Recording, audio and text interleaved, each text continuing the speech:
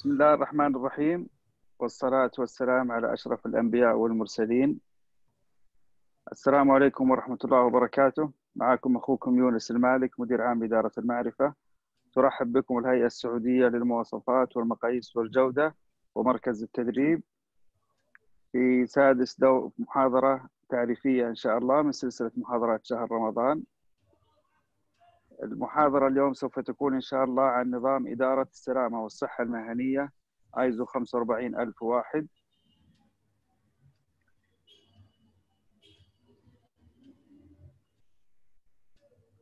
سيقدم المحاضرة معنا إن شاء الله سيكون اللواء مهندس أحمد بسيوني محمد.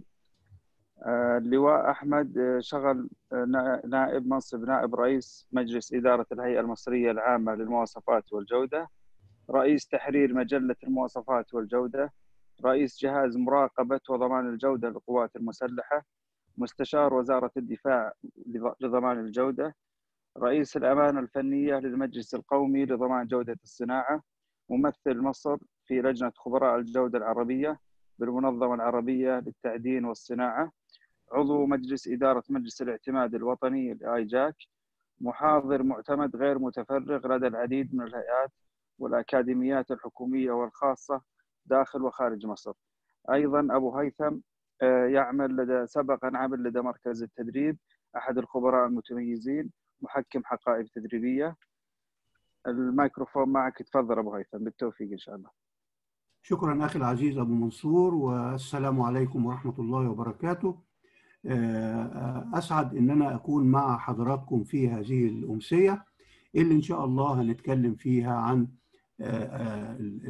نظام إدارة السلامة والصحة المهنية المسمى باللغة الإنجليزية Occupational Safety and Health Management System طبقا لمتطلبات المواصفة القياسية الدولية الآيزو 45001 اللي هي صدرت في سبتمبر عام 2018 لما نبدأ المواصفه بتاعتنا نلاقي أنا دايما بحب في في المحاضرات بتاعتي إن إحنا نوحد المفاهيم تجاه الكلمات المحورية الموجودة في هذا الكورس. فإحنا عندنا في عنوان الكورس في عندي أربع كلمات محورية.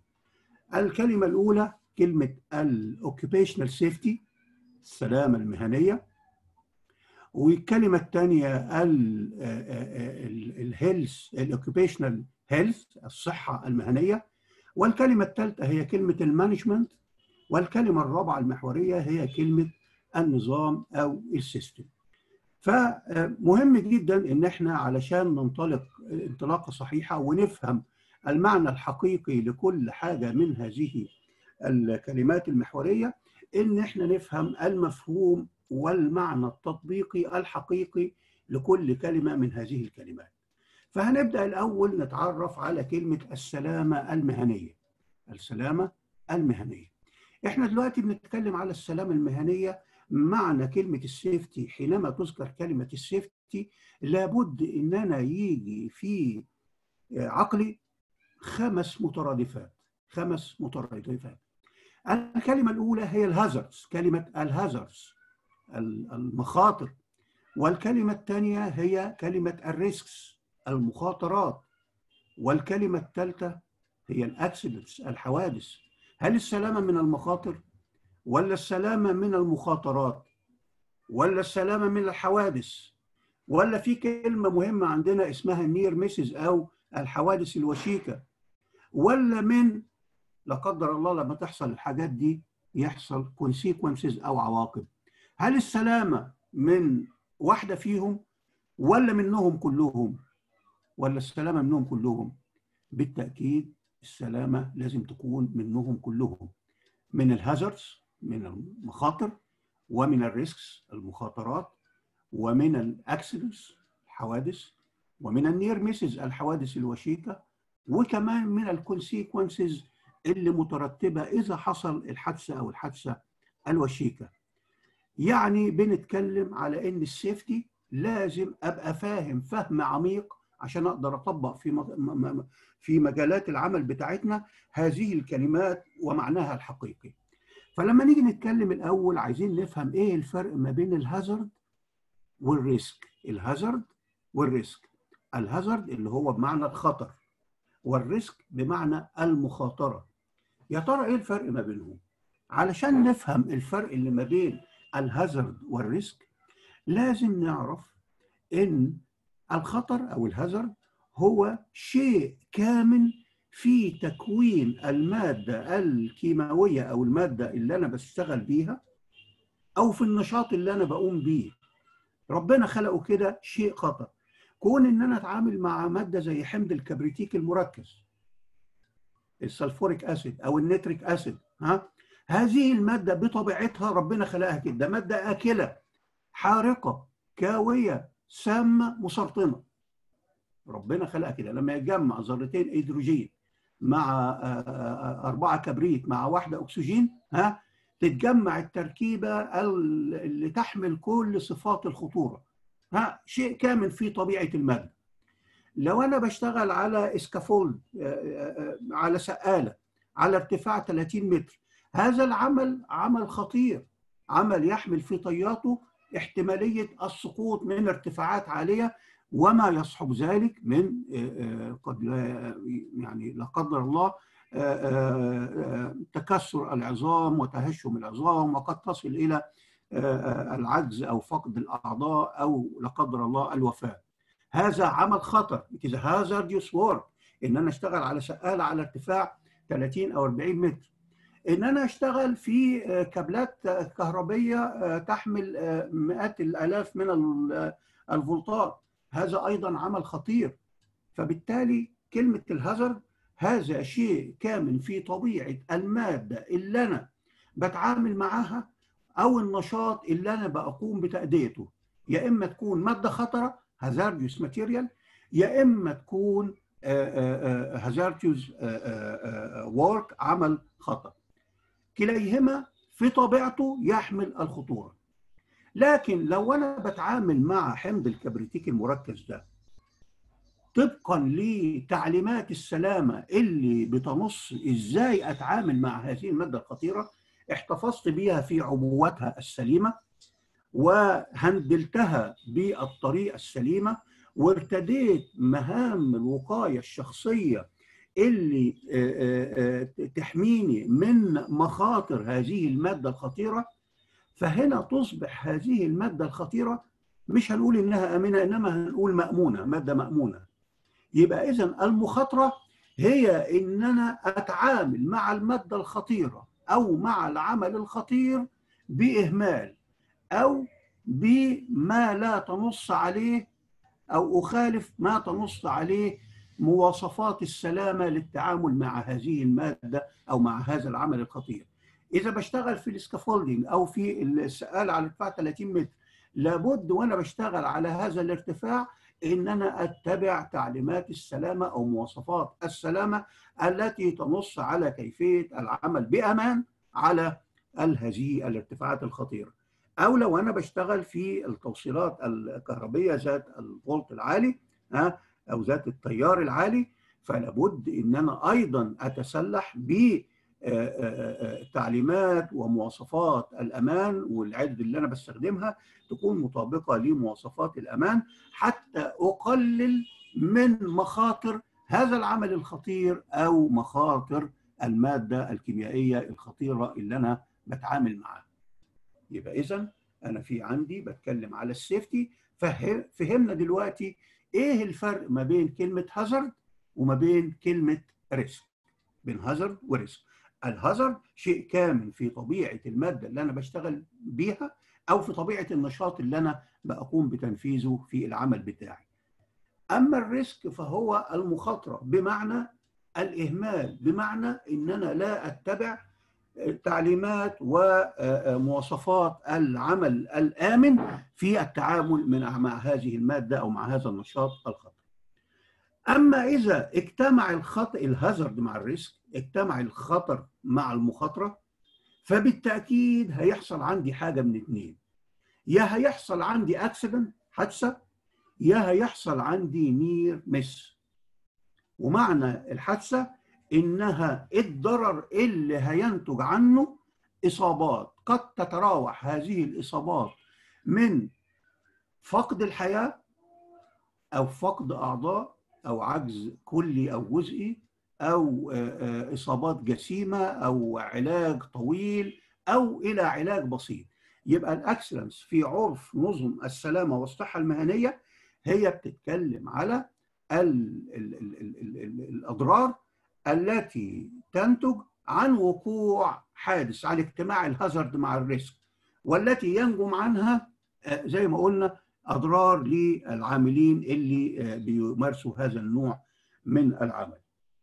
وقد يحدث ما يسميه بال near miss. يبقى في عندي accident وعندي near miss. ال near miss هو الحادثة الوشيكة وهي معناها ال ال ال إن أنا هيقع الحادث لكن لن ينتج عنه إصابات.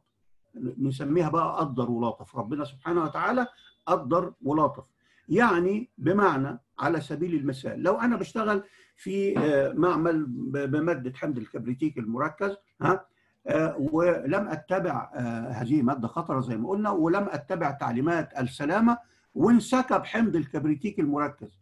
لا قدر الله لو وقع على إيدي أو جه على بشرتي أو جه في عينيا فهذه حادثة هينتج عنها إصابة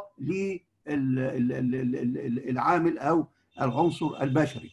لكن ممكن الحمض الكبريتيك ده ينسكب على ال test bench وما يجيش عليا الأولانية دي اللي نتج عنها أضرار بنسميها accident حادثة والثانيه دي بنسميها near miss أو حادثة وشيكة. وفي عرف نظم السلامة لابد إن الاثنين سواء كانت ال accidents أو ال near misses إن إحنا نقوم بتسجيلهم ها ونتعامل معهم على إنهم بالفعل حوادث أو إن هم مخالفات لنظام إدارة السلامة والصحة المهنية. يبقى إحنا عرفنا دلوقتي الفرق ما بين الهازارد والريسك والاكسلنس والنير ميسز. طبعا لو حصلت الحادثة أو الحادثة الوشيكه هيبقى في ليها consequences أو عواقب هيبقى ليها عواقب. هذه العواقب تتراوح ما بين زي ما قلنا لا قدر الله فقد الحياة أو فقد الأعضاء أو العجز الكلي أو العجز الجزئي أو علاجات طويلة أو عمليات جراحية أو حتى علاج بسيط وإسعافات أولية. هذه الكونسيكونس بتترجم إلى غياب عن مكان العمل نتيجة لهذه الحادثة اللي حصلت.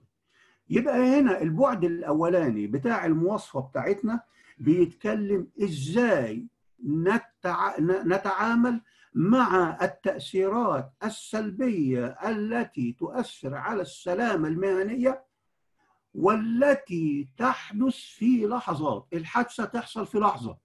الحادثة تحصل في لحظة. الحادثة تحصل فين؟ في لحظة أو في لحظات، الحريقة ممكن تقوم في ثانية. انبعاث مادة كيميائية سامة أو أو أو أو أو, أو خانقة أو ما شابه ذلك ممكن يحصل في ثانية في لحظات. فهذا الموضوع السلامة المهنية بيتكلم إزاي هنتعامل مع الحوادث التي تنتج في لحظات وطبعا كلنا يعني يعني معظم الناس اللي بتشتغل في الصناعة أو في أي مجال حتى في في الشوارع ممكن لا قدر الله تلاقي في ثانية كده نتيجة لأن أحد السائقين على أحد الطرق لم يراعي القيادة متطلبات القيادة الأمنة يتسبب في عشرات من الحوادث في ثانية واحدة.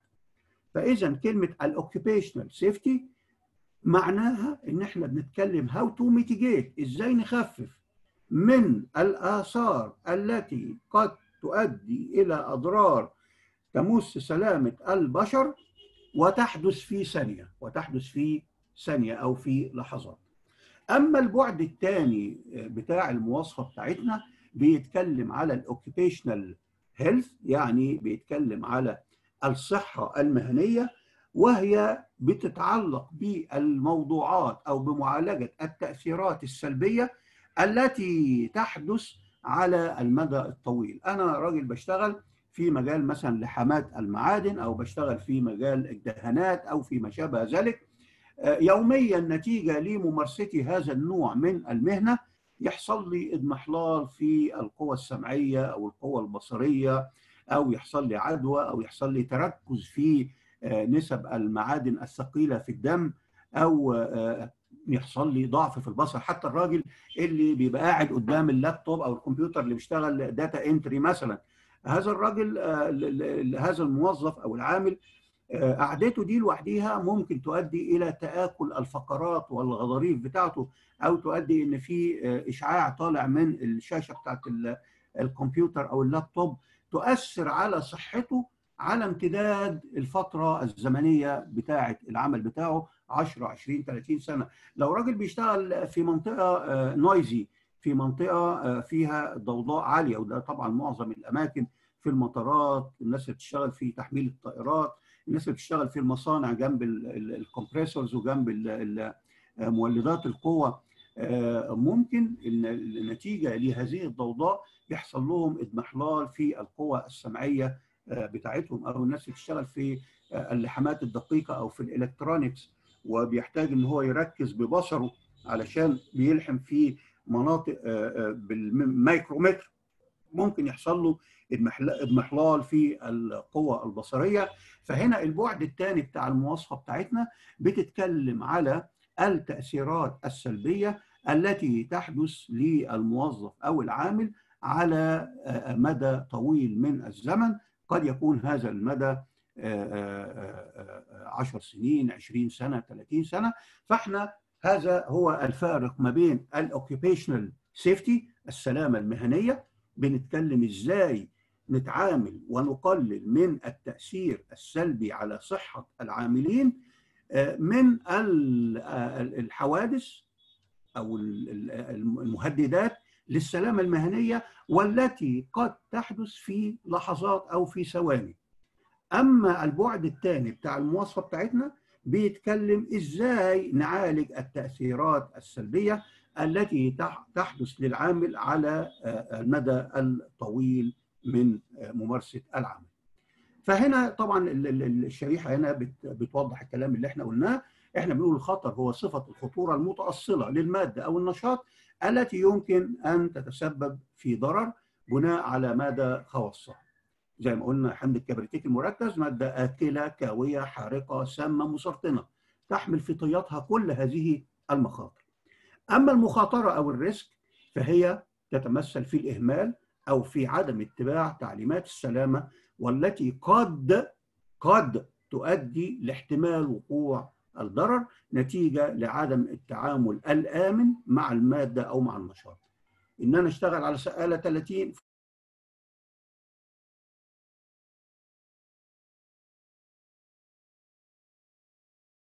ارتفاع 30 أو 40 سنين ولازم يبقى في عندي مخدات أو مصات للصدمات أو عندي يبقى في شبكة نت مرتفعة عن الأرض 3 4 متر عشان تمنع اصطدام جسمي من في من الأرض يبقى اذا أنا لابد إن أنا وأنا بشتغل مع مادة خطرة أو مع نشاط خطير إن أنا أتبع تعليمات السلامة اللي هتقلل جدا من احتمال حدوث الخطا. يا ريت يكون المفهوم ده واضح وعلشان يعني إن نتأكد من إن هذا المفهوم واضح بالنسبة لنا أنا عايز تشاركوني كده بالرأي. في عندنا سؤال نقول أنا عايز أعرف هو إحنا نقدر نتحكم أكتر في ال hazard ولا في ال risk ولا في الاثنين مع بعض؟ آه عايزين ناخد voting كده هل نقدر نتحكم في ال hazard أكتر ولا في ال risk ولا في الاثنين مع بعض؟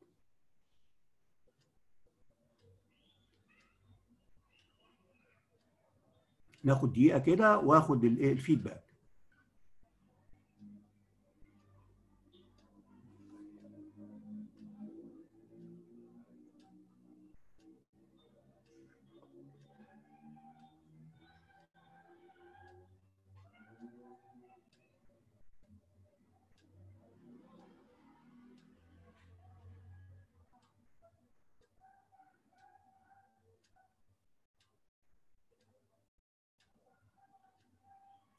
ممكن ناخد فيدباك ناخد النتيجة. عندنا النتيجة في 39% قالوا إحنا نقدر نتحكم في الريسك. وفي 18% قالوا نقدر نتحكم في الهازارد. وفي 43% قالوا نقدر نتحكم في الاثنين في الهازارد أو وال risk كمان الاثنين طبعا أنا بشكر كل الحاضرين اللي صوتوا واجتهدوا وكل آرائهم مظبوطة لكن من واقع الشرح اللي إحنا قلناه إحنا نقدر نتحكم اللي في إيدينا إن إحنا نتحكم فيه هو ال risk. اللي في إيدينا إن إحنا نتحكم فيه هو ال risk. إن إحنا ما خد ما ناخدش المخاطرة. لازم لما نيجي نشتغل في عمل خطير أو مع ماده خطيرة اللي في إيدينا و100% إن إحنا نضمنه إن إحنا نتحكم في الريسك في المخاطرة. بمعنى إن إحنا قبل ما نشتغل في هذا العمل الخطر أو مع هذه المادة الخطيرة لابد إن إحنا نعرف ونتدرب كويس قوي على the safest way to perform my job على الطريقة الأمثل الآمنة للتعامل مع هذا الماده مع هذه الماده الخطيره أو مع هذا ال ال ال ال ال ال ال ال النشاط الخطر يعني في الأوشا اللي هي منظمة السلامة والصحة الأمريكية لا يسمح للعامل بأنه هو يؤدي هذا العمل إلا بعد ما ياخد كورس اسمه right to know RTK RTK right to know right to know يعني يعني حق المعرفة. لازم العامل قبل ما يشتغل ويمارس المهنة لازم يعرف المخاطر التي يتعرض ليها أثناء العمل ويتدرب على the safest way to perform it. الطريقة المثلى من ضمن قوانين الأوشا ها متشددة قوي في الحتة دي أن الموظف لابد الموظف الجديد اللي بعد ما يتعين. لازم ياخد كل ست شهور دورة عن متطلبات الأداء الآمن للوظيفة بتاعته. والموظفين القدامى اللي خدوا الدورات دي قبل كده كل ثلاث سنين ياخد refreshment safety course لازم ياخد كل ثلاث سنين يحصل له refreshment ها على متطلبات السلامة. وده طبعا نتيجة لأن العالم اللي إحنا بنعيش فيه ما هوش عالم جامد ثابت. ده بالعكس ده كل لحظة وكل يوم في جديد وفي ماكينات جديدة وفي اكتشافات جديدة وفي مواد كيميائية جديدة وفي تكنولوجيات جديدة. كل دي يصاحبها مخاطر لابد إن أنا أعرفها. لازم أكون على درجة عالية من العلم بها نتيجة لأن للأسف أي غلطة في هذا الموضوع مش فقط ممكن أنت تأذي نفسك بل قد تكون انت ذات نفسك كعامل مش عارف احتياطات الأمان أو كيفية التشغيل الآمن لدي إلى إنك ممكن تأذي كل العاملين اللي موجودين في الموقع حواليك. زي ما ادينا مثال لو إحنا على ال highway أو على الطريق السريع ها في آلاف من السيارات كلهم 99% منهم كويسين جدا وماهرين وملتزمين بتعليمات القيادة الأمنة لكن واحد بس على الطريق ما هوش ملتزم أو ما هوش عارف ها ممكن يتسبب في حوادث لآلاف من السيارات الموجودة وقد تؤدي إلى كوارث. يبقى اذا هنا مهم جدا إن إحنا نمرن نفسينا كويس ها إزاي الطريقة المثلى لأداء كل نوع من الأعمال وإلا هنبقى في هاي ريسك هنبقى في احتمالية مخاطرة كبيرة وزي ما قلنا إذا اجتمع ال hazard مع ال risk هيحصل معايا يا إما accident هينتج عنها إصابات يا إما near misses حوادث وشيكة لا ينتج عنها إصابات لكن لازم في عرف نظام السلامة والصحة المهنية إن إحنا كلا النوعين سواء ال accidents أو ال near misses إن إحنا نسجله ونعمل له analysis ونعمل root cause analysis نشوف السبب الجذري اللي أدى لوقوع هذا النوع من الحوادث وإزاي إن إحنا نتخلص منه أو لا نسمح بتكراره مرة أخرى. عندنا وإحنا بنتكلم على عملية إدارة المخاطر طبقا للمواصفة الشكل اللي قدامنا ده ده تقريبا ال ال ال الكور بتاع المواصفة بتاعتنا في عندنا زي ما قلنا إن إحنا لازم يبقى في عندنا في الأول ننزل في كل عملية جوه المؤسسة عندي وأشوف بعيني وتخيل بعقلي كل السيناريوهات التي ممكن أن تؤدي إلى حدوث الرزق. زي ما قلنا إحنا عندنا في أعمال خطرة والأعمال الخطره دي موجودة في كل حاجة. حتى وحضرتك طالع على السلم أو نازل من على السلم أو بتعدي الشارع أو بترفع صندوق من على الأرض. كل خطوة تشغيلية فيها مخاطر. و و و ولو ما اتبعتش الطريقة السليمة للتنفيذ بقى هنا في ريسك ممكن يحصل عنده يعني لو عامل زي ما قلنا مكلف إنه مجرد إنه يشيل صندوق من على الأرض يحطه على الرف. لو لم يتبع التعليمات السليمة للتحميل أو لحمل الصندوق لابد إنه هيحصل له للأسف مشاكل في العمود الفقري أو مشاكل في المفاصل أو الركب أو ما شابه ذلك. واكم من حوادث شفناها بتحصل في أماكن العمل. فإحنا عندنا أربع خطوات رئيسية المواصفة مبنية عليها. بنتكلم على ال risk identification أو إن شئنا الدقه بقى نقول ال hazard identification تمام؟ وال risk analysis تحليل المخاطر يبقى في الأول التعرف على المخاطر ثم تحليل المخاطرة ثم تقدير المخاطرة ال risk evaluation ثم ال risk treatment أو ال risk management يبقى وأنا في المواصفة بالكامل ها؟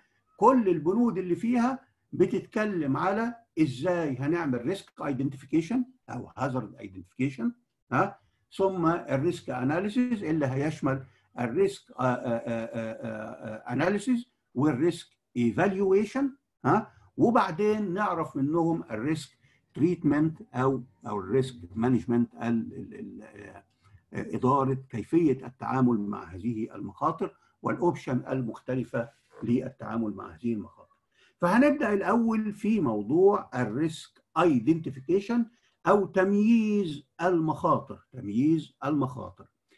العلماء بتوع ال safety ريحونا في الحتة دي ودرسوا لنا وحددوا لنا هم المخاطر وأنواعها فقال لي أو قسموا لي مخاطر العمل إلى خمس أنواع رئيسية من المخاطر.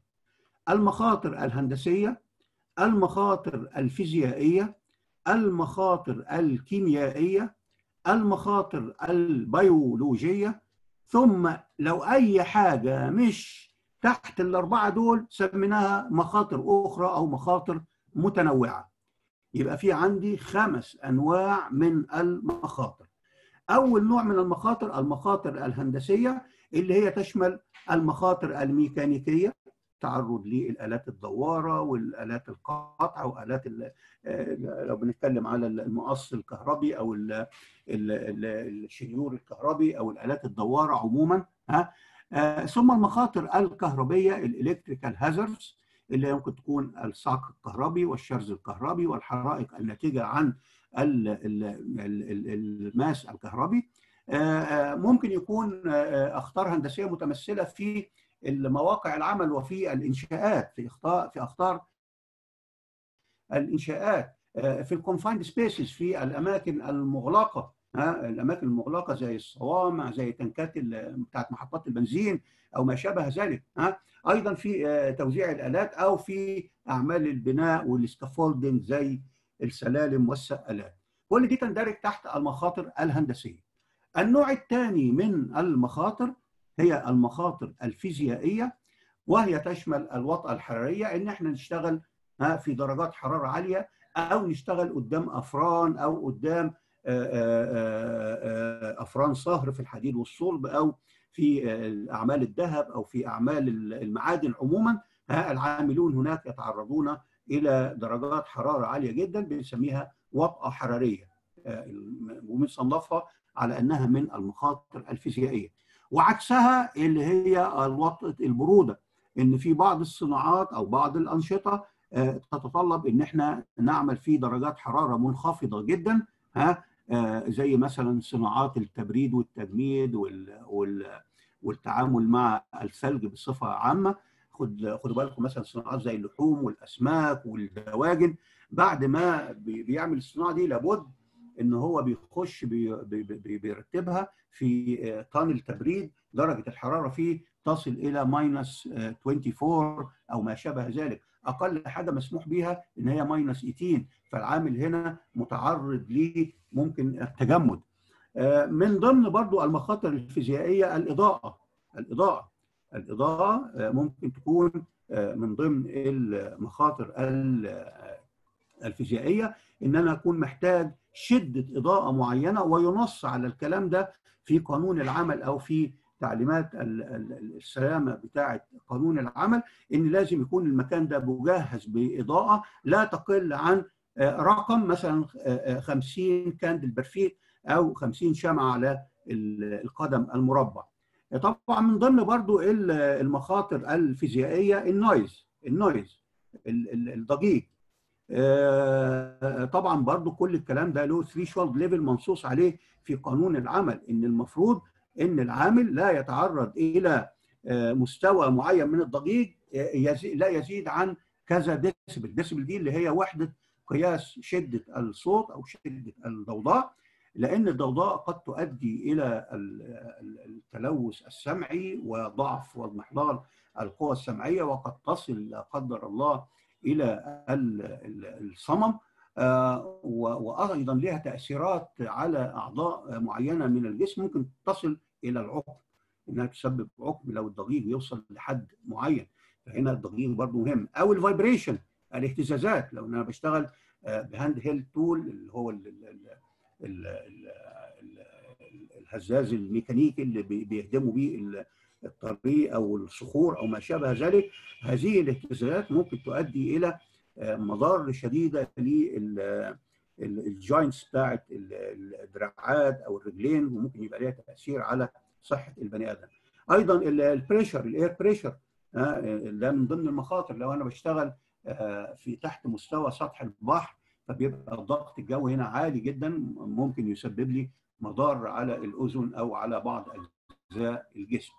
أيضا الرطوبة، الرطوبة برضو من ضمن المخاطر الفيزيائية لأن خدوا بالكم إن الرطوبة بتعمل حاجة غريبة جدا. إحنا عندنا دايما درجة الحرارة في الشمس غير درجة الحرارة في الظل. تلاقي في فرق ممكن يوصل مثلا ل 20 إلى 30 درجة ما بين درجة الحراره المباشرة في الشمس إلى درجة الحرارة في الظل. ده بفرض إن الجو مش رطب، نسبة الرطوبة مش مرتفعة. أما في البلدان اللي نسبة الرطوبة فيها مرتفعة ودي تقريبا كل البلدان المطلة على البحار أو المحيطات زي مع في المملكة العربية السعودية كده دمام ها؟ تلاقي نسبة الرطوبه الحر عالي والرطوبة عالية. الرطوبة بتعمل إيه بقى؟ بتاخد درجة الحرارة بتاعه الشمس وتنقلها في الظل. كأنك وأنت قاعد جوه بيتك ها؟ وأنت في أجمل مكان لا كأنك قاعد بالظبط في الشمس. الرطوبة بتعمل هوموجينيوس ميديم وسط متجانس بتاخد الحرارة من الشمس وتنقلها للظل. كما بقول لك بالظبط كأنك قاعد فين؟ في تحت الشمس. فهنا برضو الرطوبة من المخاطر الفيزيائية. التهوية وكمان الإشعاعات من المخاطر الفيزيائية. طبعا التعامل مع الأجسام المشعة أو مع الأشعة. الناس العمال أو اللي في المستشفيات اللي بياخدوا الأشعة للناس ده متعرض دائما لأنه بيعمل مثلا 100 أو 200 إشعة في اليوم جسمه يتشبع ب هذه النوع من الإشعاعات والاكس راي بتخترق العظام. طبعا المريض بيتعرض لإشعة واحدة لكن الراجل اللي بيقوم بهذا الموضوع بيتعرض ل 100 أو 200 جرعة في اليوم فبالتالي ممكن يحصل عليه تأثير سلبي. وعشان كده بنلاقي الراجل دايما اللي بياخد الأشعة يجيب المريض يحطه تحت الجهاز بتاع الأشعة ويخرج بعيد شوية وهو لابس مهمات وقاية ضد الاشاعات وياخد الأشعة لأنه زي ما بنقول بنعمل بيعمل العملية دي أو نفس النشاط ده مئات المرات في اليوم.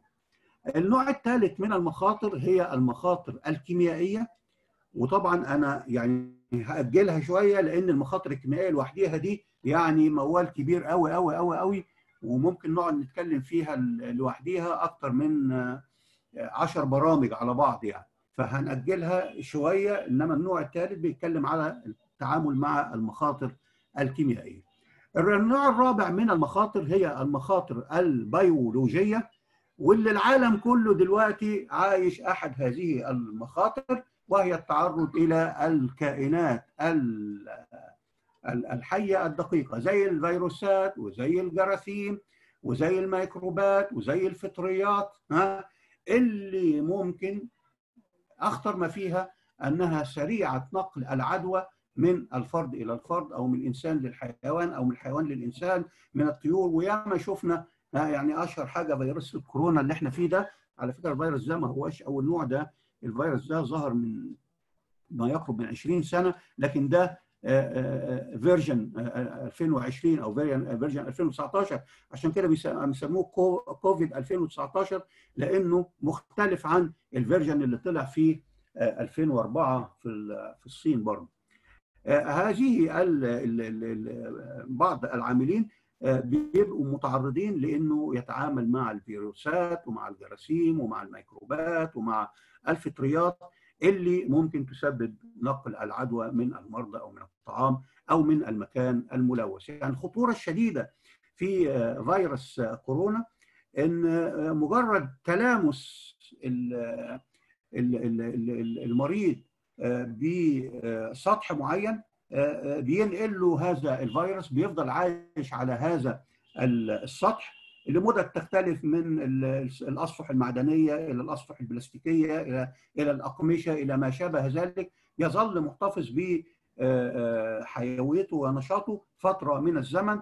لو جه حصل تلامس مع هذا السطح فعشان كده نلاقي إن ماكينات ال ATM اللي هي بتاعت سحب الفلوس من البنوك أو الأسانسيرات أو ما شابه ذلك هي من ضمن الوسائل الشديدة اللي بتنقل العدوى بالفيروس كورونا وكان الله وإياكم شره ويا رب كده يرفع عن الأمة الإسلامية وعن البشرية كلها هذه الغمة ويمتعنا جميعا بالصحة والعافية.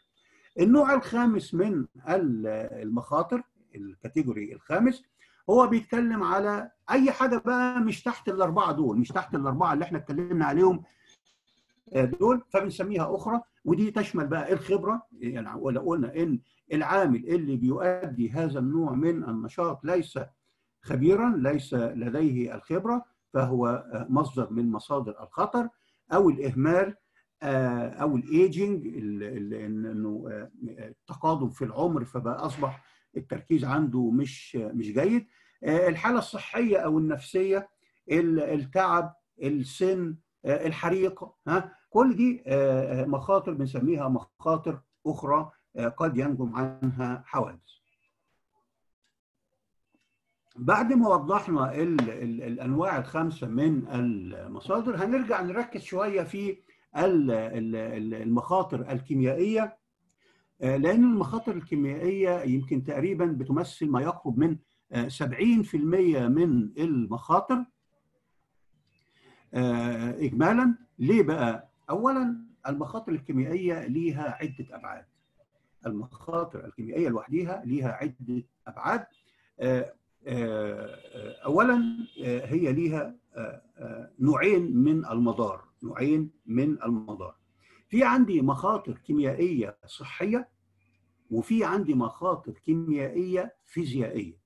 يبقى عندي في المخاطر مخاطر المواد الكيماوية في عندي بعدين من المخاطر.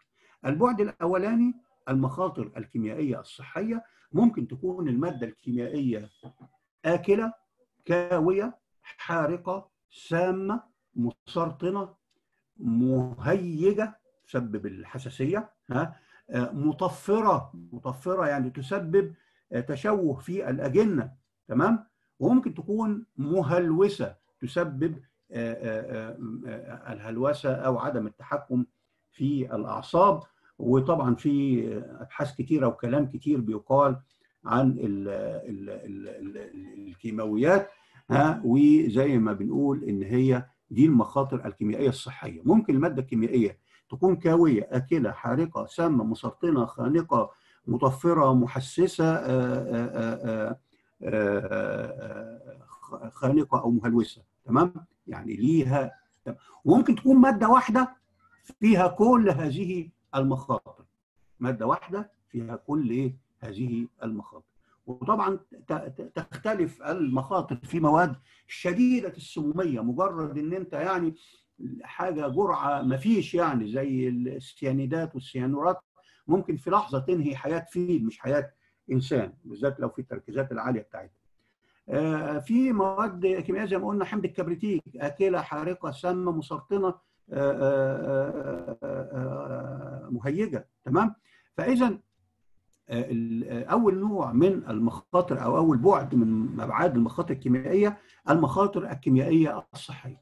في عند بعد ثاني للمخاطر المواد الكيميائية ولا ألا هي إن هي المخاطر الكيميائية الفيزيائية ودي بتشمل حاجتين أساسيتين اولا مواد كيميائية متفجرة explosives زي النيتروجليسرين والنيتروسيلولوز والديناميت ها هذه مواد كيميائية مجرد حكه بسيطة أو ما شابه ذلك تفجر المكان اللي إحنا موجودين فيه كله. النوع الثاني من المخاطر الكيميائية الفيزيائية المواد الكيميائية الملتهبة الملتهبة ال flammable and combustible chemicals هذه المواد الكيميائية قابلة وبشدة للاشتعال. وبيعرف المادة الكيميائية بقابليتها للاشتعال بحاجة اسمها ال flash point. ال flash point اللي هي نقطة الوميض اللي هي درجة الحرارة اللي تبدأ هذه المادة تنتج أبخرة قابلة للاشتعال إذا صادفت لهبا.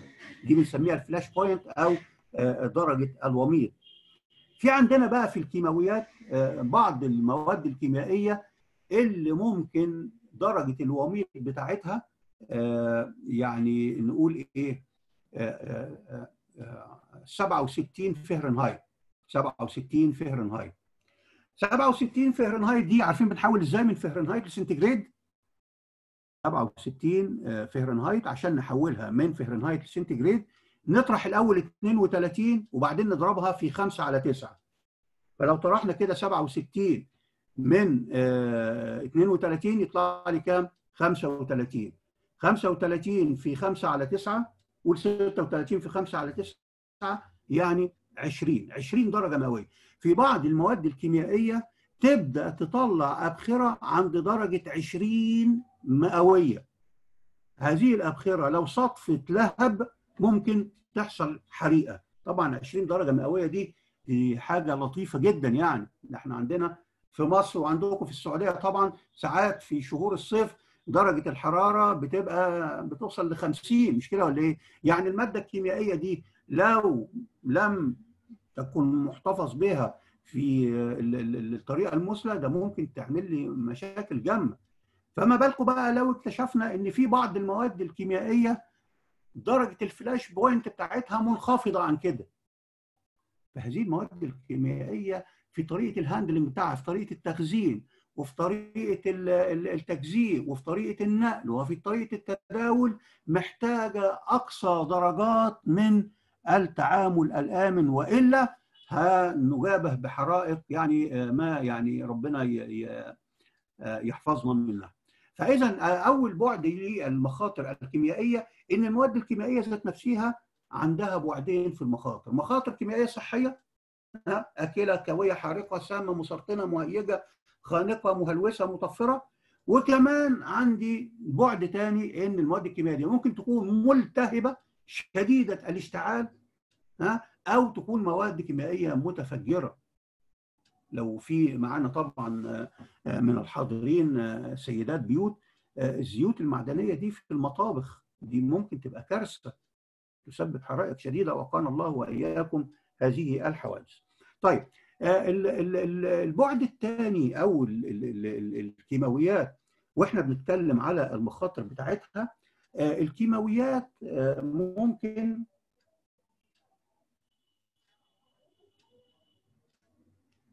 الكيماويات زي ما قلنا ممكن كل سنة اولا عددها اولا عدد الكيماويات اللي موجودة في الطبيعة عدد يقدر بالمليارات. عدد يقدر بالمليارات. اللي إحنا نعرفه منها عدة ملايين فقط. علشان أدلل لكم على ضخامة عدد المواد الكيميائية الموجودة في الطبيعة أقول لكم إن اللغة العربية مثلا فيها 28 حرف. نتيجة التفاعل ما بين ال 28 حرف دول طلع لي القاموس المحيط أو مختار القاموس أو المصباح المنير اللي هو المعجم ها شوفوا المعجم فيه كم كلمة؟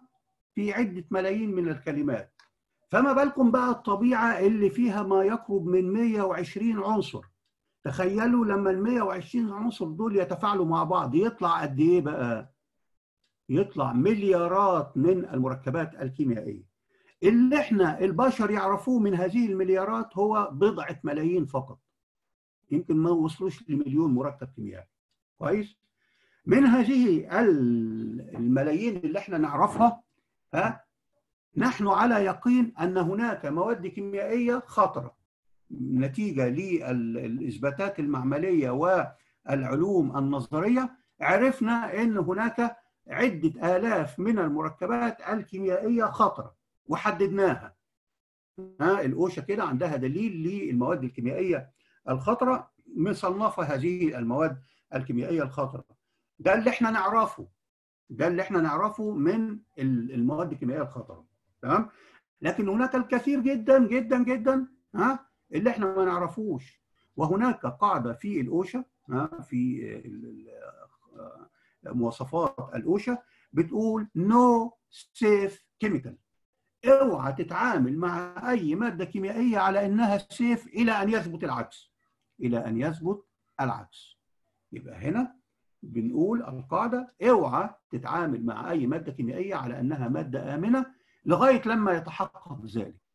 إنما إذا ما أنتش عارف افترض إن فيها كل الايه المخاطر. تمام؟ البعد الثالث حتى المواد الكيميائية اللي إحنا كنا عارفين النهارده إنها مواد كيميائية آمنة نكتشف غدا أنها ليست كذلك. الدليل على كده. كان في مادة شهيرة جدا اسمها الأسبستوس. مادة اسمها الأسبستوس. قلنا في في العالم كله وفي بلادنا العربية لغاية وقت قريب وقت قريب يعني نقول مثلا 20 سنة ولا حاجة بنصنع منها مواسير مياه الشرب. ثم ثبت ها أن هذه المادة مسرطنة أو أن غبار هذه المادة مسرطن. تمام؟ ما كنا نظنه أمس آمنا نكتشف كل يوم أنه ليس كذلك. التدخين التدخين كان في منتصف القرن الماضي علامه على الرفاهية والناس اللي يعني اللي مستواها المعيشي عالي. لكن منذ أكثر من خمسين سنة واكتشف أن التدخين سم قاتل وأجبرت كل شركات إنتاج السجائر على إنها تكتب على نص حجم العلبة كده التدخين قاتل أو التدخين خطر قاتل بفونت عالي وكبير تمام؟ لأنه مع التقاء عود الثقاب مع التبغ يتولد 4000 مركب كيميائي خطير أبسطهم أول وثاني أكسيد الكربون اللي لوحدهم لهم مضار فظيعه يبقى إذا ما كنا نظنه اليوم امنا نكتشف غدا أنه ليس كذلك. يبقى أنا في عندي عدد كبير جدا من الكيماويات القليل منه اللي أعرفه وأعرف مضره والباقي فاكره ان هو آمن. وآجي بكرة أكتشف إن اللي أنا كنت فاكره آمن ده مع التقدم العلمي أنه ليس كذلك ليس امنا. فما بالك بقى باللي ما نعرفوش؟ اللي ممكن نتعرض له وإحنا ما نعرفوش. يبقى بالتالي المخاطر المواد الكيميائية كل سنة يدخل في سوق المواد الكيميائية ما يقرب من 10000 مركب كيميائي جديد منها ما هو آمن أو منها ما نظن أنه آمن وقد نكتشف غدا أنه ليس كذلك ومنها ما هو محدد خطورته وموصفة فيما يسمى ال material safety data sheet أو بطاقة الأمان للمواد الكيميائية. ثالثا المواد الكيميائية تدخل الجسم عن عدة طرق. المواد الكيميائية تدخل إلى جسم الإنسان عن عدة طرق. تدخل عن طريق التلامس عن طريق الجلد. تدخل عن طريق الاستنشاق الشم ودي أوسع الطرق انتشارا لأضرار المواد الكيميائية. تدخل الجسم عن طريق البلع من طريق الخطا ها؟ تدخل الجسم عن طريق البنتريشن أو الاختراق ودي أخطر أنواع طرق دخول المواد الكيميائية إلى الجسم لأنها بتخش مباشرة في الجهاز الدوري مع الدم ومنها إلى القلب ومنه إلى باقي أعضاء الجسم. يبقى اذا المواد الكيميائية مش بتخش الجسم عن طريق واحد لا ده عندها أربع خمس طرق ممكن تدخل وتتسرب إلى داخل الجسم عن طريق كل هذه المسالك المختلفة اللي زي ما قلنا اختارها الاستنشاق والتلامس وزي ما إحنا شفنا إن المواد الكيميائية زي ما قلنا ليها مخاطر صحية ومخاطر فيزيائية. البعد الرابع في مخاطر المواد الكيميائية إن كل سبحان الله سبحان الخالق كل مادة كيميائية ضارة ليها شفرة كده مع أحد أعضاء الجسم. يعني في مواد كيميائية تؤثر مباشرة على الكلى. مواد كيميائية أخرى تسيطر وتتجه إلى الأعصاب. مواد كيميائية ثالثه تتجه إلى القلب ال الكبد إلى ما شابه ذلك. يبقى هنا سبحان الخالق في كل مادة كيميائية فيها شفرة كده رايحة على عضو أو أحد أعضاء الجسم علشان تتعامل معاه وللأسف إن هي تدمره تمام؟ يبقى المواد الكيميائية زي ما قلنا ليها عدة أبعاد وليها عدة مخاطر وزي ما قلنا ليها أكثر من طريق تدخل به الجسم عن طريق الجلد التلامس عن طريق الاستنشاق الجهاز التنفسي عن طريق البلع عن الجهاز الهضمي أو عن طريق البنتريشن الاختراق عن طريق الجهاز الدوري ودي بتبقى أسرع الطرق المواد الكيميائية للتأثير السلبي على الجسم.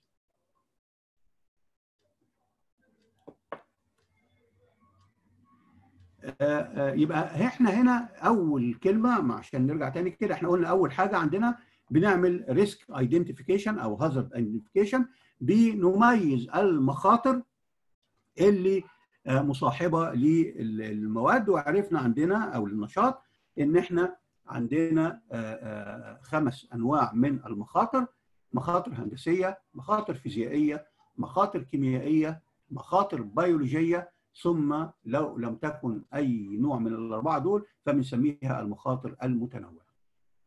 بعد كده هنخش على المحور الثاني اللي المواصفة بتركز عليه ألا وهو ال risk assessment أو تقييم شدة المخاطر.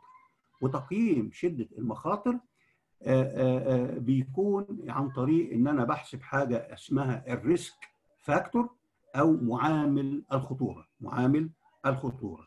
وال risk factor بيتحدد بناء على رقمين بناء على رقمين. الرقم الأولاني بنسميه ال probability of occurrence أو احتمالية حدوث الخطر ودي بنسم بنقسمها إلى مستويات. بنقسمها إلى مستويات. ممكن نقول عندي هحط أنا كمؤسسة أو كشركة احتمالات إن هذا الخطر يحدث ثلاث احتمالات ضعيف ومتوسط وعالي. وأقول ضعيف ده معناه إنه ممكن يحصل كل سنة. متوسط يحصل كل ست شهور مثلا أو كل شهر. عالي إن هو يحصل كل أسبوع أو كل يوم. تمام؟ يبقى أول بعد بنقول إيه؟ احتمالية الحدوث ودي بنسميها. ممكن نخليهم خمس مستويات ممكن نخليهم عشر مستويات. بس المهم أبقى عندي clear definition تعريف واضح. يعني إيه؟ ضعيف يعني إيه متوسط يعني إيه عالي يعني إيه مؤكد يعني إيه كل مستوى من مستويات الاحتمالية الحدوث تاني بعد وأنا بحسب ال risk factor أو معامل الخطورة هو ال severity of occurrence أو العواقب المترتبة أو شدة تأثير هذا الخطر إذا حصل. طيب علشان ن... ن... ن... ن... نفكر كده مع بعضينا ناخد مثال يوضح لنا الكلام ده. إحنا قلنا دلوقتي وإحنا بنعمل شدة المخاطر أو بنعمل ال risk assessment تقييم المخاطر. بشوف ال probability of occurrence وال severity of occurrence. تمام؟ احتمالية حدوث الخطر شكلها إيه؟ وشدة تأثير حدوث هذا الخطر شكله إيه. تمام؟ فعلشان نوضح ونقرب المثال للاذهان أقول لما إحنا مصنع بتروكيماويات. مصنع بتروكيماويات. ما هو احتمال حدوث الخطر في مصنع للبتروكيماويات؟ هل هو بسيط ولا متوسط ولا عالي؟ بالتأكيد عالي. مش كده ولا إيه؟ عالي جدا. ليه؟ لأن أنا بتعامل مع مواد شديدة القابلية للإيه؟ للإشتعال. مش كده ولا إيه؟ صح؟ يبقى احتمال حدوث حريق في مصنع مواد بترولية أو بتروكيماويات أو غازات زي البوتاجاز أو ما شابه ذلك احتمال حدوث الحريق عندي احتمال عالي جدا. مش كده ولا إيه؟ تمام؟ طيب. العواقب المترتبة على حدوث هذا الخطر اللي هو الحريق هل هي بسيطة ولا متوسطة ولا عالية؟ وكلمة بسيطة يعني زي ما قلنا لو حصل حريقة هل فقد للأعضاء؟ هل هيبقى في عجز كلي عجز جزئي إصابات شديدة؟ مش كده ولا إيه؟ هنا ده بنسميها إيه؟ المستويات العواقب أو مستويات الخطورة. بالتأكيد طبعا في مصنع زي مصنع المواد البترولية إذا حصلت الحريقة فالعواقب المترتبة على هذه الحريقة عواقب ضخمة جدا. مش كده ولا إيه؟ يبقى اذا لاحتمال حدوث الحريق أو احتمال حدوث الخطر عالي جدا وكمان العواقب المترتبة عليه عالية جدا. يبقى هنا ال risk factor الرقم ده هيطلع لي عالي هيطلع لي كبير. مش كده ولا إيه؟ صح؟ طيب ننتقل إلى مصنع تاني وليكن مثلا مصنع بتاع آيس كريم أو تلج. مصنع بتاع تلج أو آيس كريم أو ما شابه ذلك. احتمال حدوث الحريق فيه شكله إيه؟ هل هو عالي ولا متوسط ولا منخفض؟ طبعا بالتأكيد هو بقى منخفض ها؟ ليه؟ لأنه هو قاصر فقط على حدوث شرز كهربي أو ماس كهربائي. مش كده ولا إيه؟ صح؟ فاحتمال حدوث الحريق في مصنع للآيس كريم هو احتمال قليل أو منخفض مش كده؟ طب شدة تأثيره إيه برضو؟ ها بالكثير هتبقى متوسطة. في جو لا يسمح بانتشار الحريق ومن السهل التعامل مع هذا النوع من المخاطر. يبقى هنا الحريق هو واحد بس في مصنع البتروكيماويات ال risk factor عالي جدا. إنما في مصنع الآيس كريم أو مصنع الثلج فهو ال risk factor هنا أقل بكثير من ال risk factor. يبقى إحنا هنا ده يبقى منظر شكل ال ال ال risk matrix بتاعي. إن أنا هقول في عندي خمس مستويات في الخطورة وخمس مستويات في الاحتمالية. وميزنا كل مستوى low low low أو high أو واحد واثنين وثلاثة. ونتج عن كده بقى إيه؟ إن إحنا عندنا المنطقة اللي هنا اللي في أقصى الركن الأيمن العلوي هي منطقة شديدة الخطورة. هنا high risk هنا high risk. المنطقة السفلى إلى اليسار الركن الأسفل الاسفل وإلى اليسار هذه المنطقة منطقة فيها ال risk منخفض.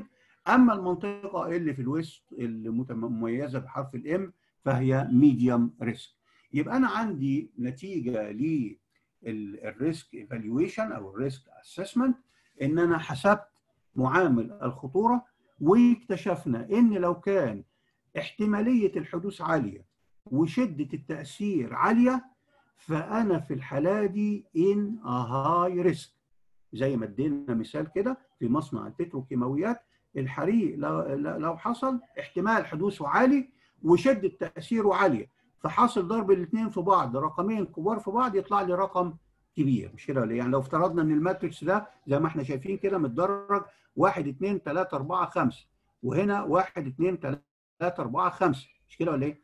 يبقى عندي المربع اللي في أقصى الركن الأيمن العلوي هيبقى 25 مش كده؟ 5 في 5 المربع ده 20 المربع ده 15 المربع ده 10 مش كده ولا إيه؟ المربع ده هيبقى 3 في 2 يبقى 6 تمام؟ المربع ده هيبقى آه 3 في 4 12 مش كده ولا إيه؟ آه هنا المربع ده 5 آه يبقى اذا هنا وأنا وأنا بعمل ال risk evaluation بتاعي أو بعمل ال risk assessment بتاعي بحسب احتمالية حدوث الخطر وبحسب كمان شدة تأثير هذا الخطر. ولما أضرب الاثنين في بعض يطلع لي معامل الخطورة بتاعتي. أعمل كده في المصنع بتاعي في كل مناحي المصنع وأحدد وأسمي كل خطر أنا شفته وميزته وصنفته ده خطر كيميائي خطر بيولوجي خطر هندسي.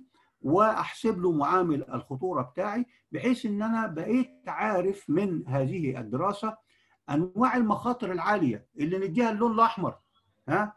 وأنواع المخاطر المتوسطة اللي ممكن نديها اللون البنفسجي أو البني وأنواع المخاطر البسيطة اللي ممكن نديها اللون الأبيض أو الأخضر اللي هي ممكن تكون نوع من أنواع المخاطر اللي سهل أو من الطبيعي إن أنا أتعامل معاها على وجه التحديد. فهنا بيبقى عندي في عملية ال risk assessment أو في ال risk evaluation أنا بحسب ال risk factor لكل نوع من المخاطر أنا ميزته. يبقى ما ننساش هنرجع تاني كده للشريحة دي.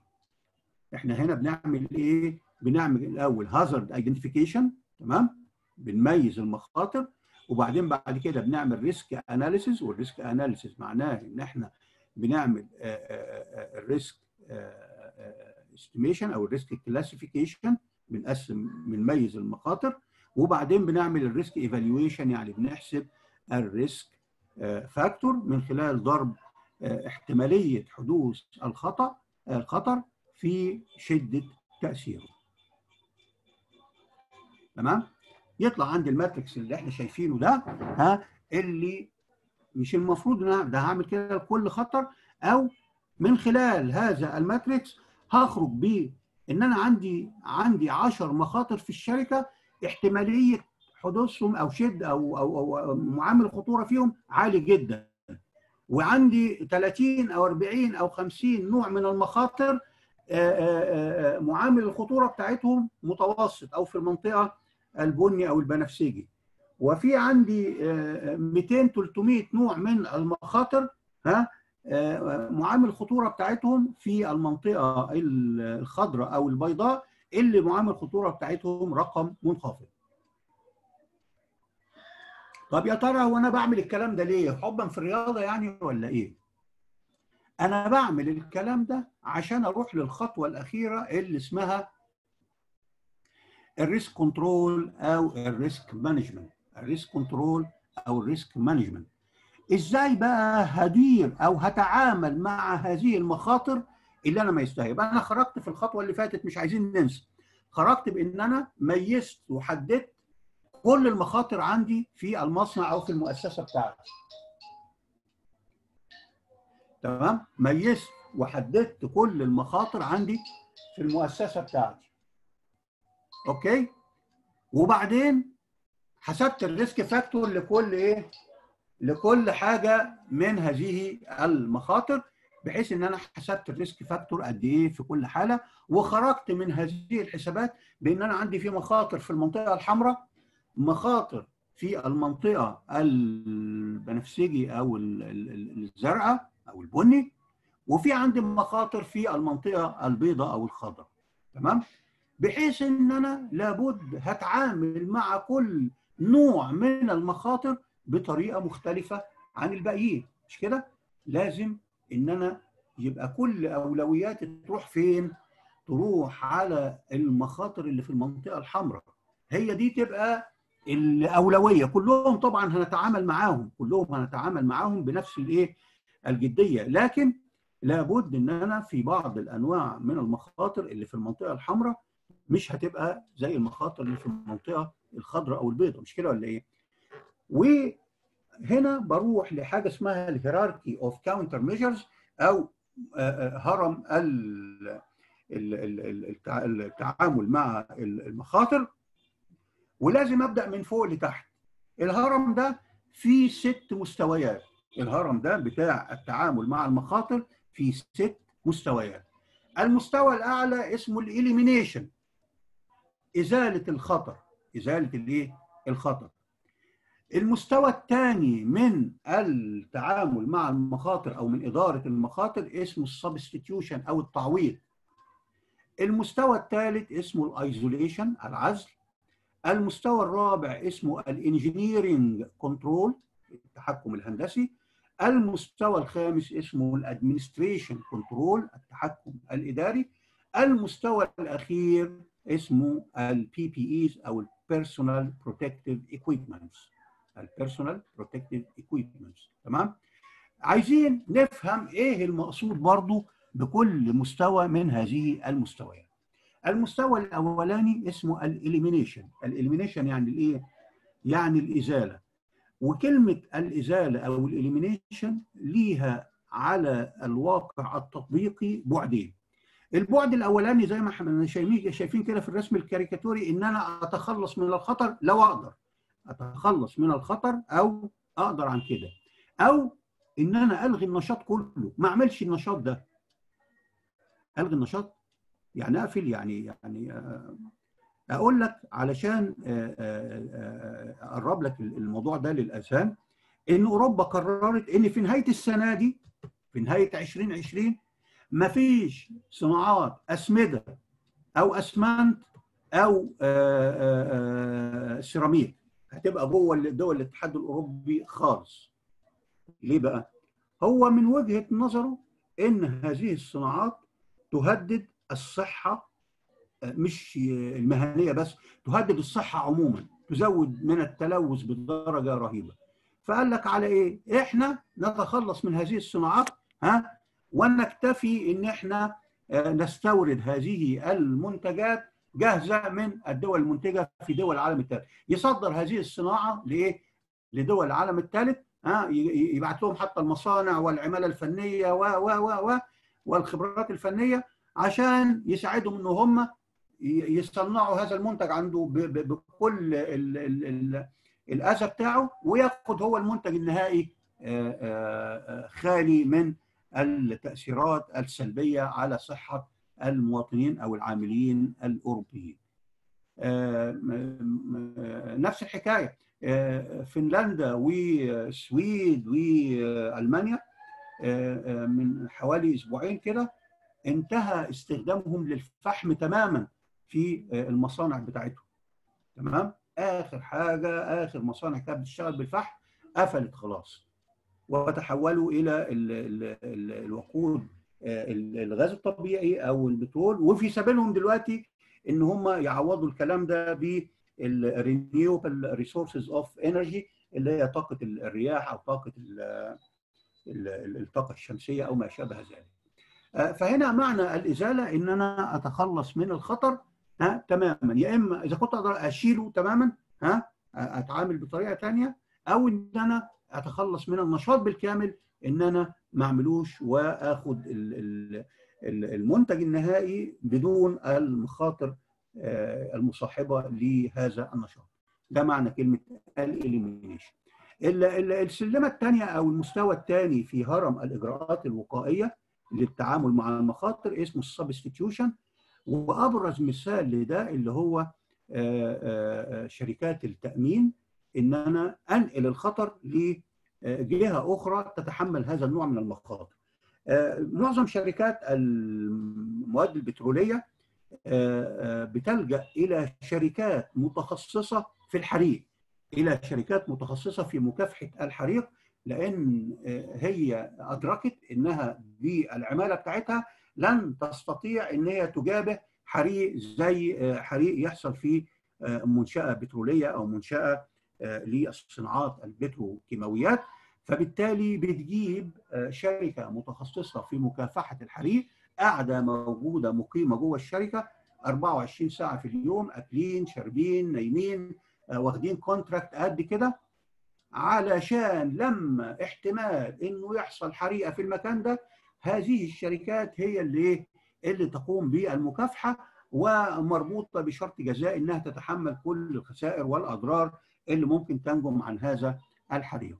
يبقى هنا ده بنسميه ال substitution إن أنا نقلت الخطر إلى حد تاني متخصص صحيح ده كلفني كتير لكنه حماني وحمى صحة وحياة العاملين عندي من المخاطر الأخرى والشركات الأخرى دي بتتشدد في إنها تمنع أو تقفل على المخاطر وبتبقى متخصصة فقط انها ضمان التشغيل الآمن بحيث تقلل من تأثيرات أو من معدل أو من ال probability of occurrence للخطر وبالتالي ال severity of occurrence يعني بنقلل الإيه؟ ال risk factor هنا تمام؟ ممكن التعويض كمان في ال ال على المستوى الواقعي يكون معناه إن أنا أستخدم البدائل. يعني لو في عندي مادة كيميائية تؤدي نفس الغرض بتاع المادة الأصلية لكنها أقل في الأضرار ها؟ يبقى ممكن هنا أعوض آخد المادة الكيميائيه الأقل ضررا في استخدامها. لكن طبعا هنا بتلاقي دايما تحصل خناقة ما بين الناس بتوع الجودة والناس بتوع السيفتي لأن الناس بتوع الجودة محتاجين المادة الكيميائيه اللي هي أشد ضررا ملوش دعوة بالسلامة والصحة المهنية لكن الناس بتوع السلامة والصحة المهنية عايزين المواد المادة الكيميائية الأقل ضررا التي تحافظ على سلامة العاملين. المستوى الثالث في مستويات التحكم من المخاطر هو ال isolation أو العزل. ال isolation أو العزل اللي هو عزل مكان الخطر زي ما إحنا شايفين في الرسم الكاريكاتيري كده حطيته في إيه؟ في قفص مش كده ولا إيه؟ أبرز مثال تطبيقي على هذا الموضوع التعامل مع المواد المشعة أو مع أجهزة الأشعة. دايما كده تلاقي المواد المشعة ها آه لازم تحفظ الأول في آه خزنة، الأول هذه الخزنة معمول لها عزل من في الخزنة مصنعة من جدران سميكة من الرصاص تمنع اختراق الأجسام ليها ثم طبقة أخرى من العزل من الكونكريت ثم طبقة ثالثه من العزل من الرصاص بحيث إن تمنع الاختراق جسيمات ألفا وبيتا وأشعة جاما من أنها تخترق الأجسام البشرية وتؤدي إلى ال ال ال ال الإصابة بالإشعاعات. اللي زي ما شفنا إحنا اليابان لما اتضرب عليها قنبلة نووية أو قنبلتين نوويتين في الحرب العالمية الثانية ما زالوا حتى اليوم يعانوا من تأثير النشاط الإشعاعي على الأجنة وعلى تشوهات الأجنة فالعزل ده معناه ان أنا بحط مجموعة من الحواكم أو ال controls التي تمنع وتضمن عدم انتشار الضرر أو المادة الخطرة. المستوى الرابع من مستويات التحكم في المخاطر اسمها ال engineering control اللي هي التحكم الهندسي. وأبرز مثال تطبيقي لموضوع التحكم الهندسي هو ال fire alarm system أو ال fire fighting system نظام الإنذار الآلي للحريق ونظام الإطفاء الآلي للحريق. ده إحنا هنا استخدمنا أحدث ما في التكنولوجيا علشان نتعامل مع خطر الحريق كده في تقريبا في كل الأماكن سواء فنادق مدارس في في حتى مؤسساتنا من أحد الأساسيات في البناء دلوقتي يبقى في ال smoke detector متركب في السقف كده. مش كده ولا إيه؟ ها؟ علشان أول ما ال smoke detector ده الحساس بتاع الدخان ده يحس إن في نسبة من الدخان يدي إشارة إلى نظام الإنذار يطلق سرينة إن خدوا بالكم في احتمال حدوث حريق أو في دخان موجود في مكان ما. وبعد فترة معينة يبدأ يطلق ال ال ال من من إطلاق ال fire alarm system ده إلى إشارة إلى ال fire fighting system اللي هو نظام الإطفاء الآلي للحرائق بحيث إن هو يعمل inhibition للمكان اللي فيه تصاعد للدخان. بانه بيفضي انبوبه غاز خامل ممكن لو في حريقة في هذا المكان تطفيه تماما. برضو من أمثلة التطبيقية للتحكم الهندسي إنك تستخدم في بعض المصانع مصادر أو مكونات كهربية ولمبات كهربية ومواتير كهربية غير قابلة للانفجار بالذات إذا كان بعمل في مكان في احتمال حدوث انفجارات عالية فعلشان أحجم منها لازم أستخدم مكونات مقاومة للانفجار. يبقى في عندي دلوقتي أربع مستويات الإزالة وبعدين التعويض وبعدين ال isolation أو العزل ثم ال engineering control. المستوى الخامس من مستويات إدارة المخاطر بنسميه ال administration control أو التحكم الإداري. ومعنى التحكم الإداري اللي هو متمثل المعنى التطبيقي له متمثل في التدريب تدريب العاملين على الأداء الآمن ال ال الروتيشن أو إن أنا أعمل دوران للعمالة. ما أسيبش عاملين محددين متعرضين لمستويات عالية من المخاطر فترة طويلة من الزمن. كأن إن أنا في عندي مثلا عامل بيشتغل في جنب معدة بتصدر ضوضاء بمستوى عالي. ال OSHA نصت على إن مستوى العمل الآمن في مستوى ضوضاء 90 ديسبل ها هو 8 ساعات. ودلوقتي بيخفضوها إلى 85 ديسبل تمام؟ إن المسموح إن العامل يكون موجود في هذا المستوى من الضوضاء هو 8 ساعات فقط. إذا كان هيستلزم إنه يبقى في مدة أكثر لابد إن أنا أزوده بمهمات وقاية شخصية أو إن أنا أعمل rotation للعاملين. يبقى التحكم الإداري معناه التدريب معناه تعليمات الأداء الآمن تبقى قدام العامل معناه ال rotation إن إحنا نبدل العمالة ولا نسمح للعامل بالتعرض لمستويات أعلى من المنصوص عليها في القانون ها أكثر من المدة المنصوص عليها في القانون وبعد ذلك يتم استبدال العاملين. طبعا برضو العاملين في درجات حرارة عالية نفس الحكاية. لا يسمح إن عامل يفضل يشتغل في درجة حرارة أعلى من المنصوص عليها في القانون. المستوى الأخير من مستويات إدارة المخاطر هو استخدام ال PPEs أو ال personal protective equipments اللي هي مهمات الوقاية الشخصية. ومهمات الوقاية الشخصية كل عضو في جسم الإنسان له مهمة وقاية شخصية. كل عضو في جسم الإنسان له مهمة وقاية شخصية. تبدأ من الرأس ليها ال helmet أو الخوذة. وطبعا الخوذة بتاعت عامل البناء غير الخوذة بتاعت الراجل اللي بيشتغل في التوصيلات الكهربية غير الخوذة بتاعت الراجل اللي بيشتغل في المطافي. عندي مئات الأنواع من الخوذ أو ال helmets اللي هي تناسب النشاط اللي بيقوم بيه بعد كده في عندي العينين ليها ال safety goggles تمام النظارات وقاية العيون وطبعا بتفرق برضه نظارات وقاية العيون من من الراجل اللي بيشتغل في المعامل مع الكيماويات عن الراجل اللي بيشتغل في اللحامات الكهربية إلى ما شابه ذلك.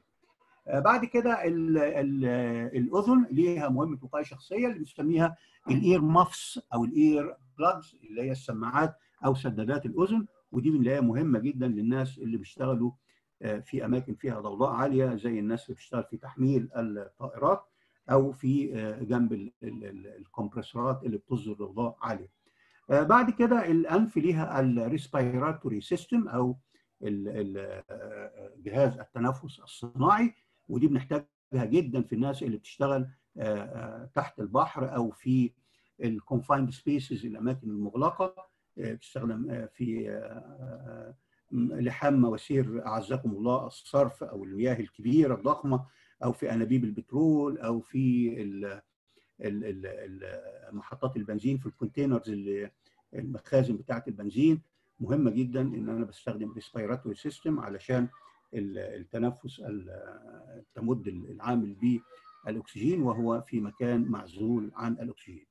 بعد كده أشهر بقى حاجة في مهمات الوقاية الشخصية اللي ممكن يقوم بها عليها حرب عالمية اليومين دول اللي هي ال masks اللي هي ال ال الكمامات وطبعا زي ما أنتم شايفين ممكن في طيارات بتتخطف دلوقتي علشان حامله ماسكات ما بين دول ودول لأن بقت صيحة العصر إن إحنا كلنا لازم هيبقى الزي الرسمي دلوقتي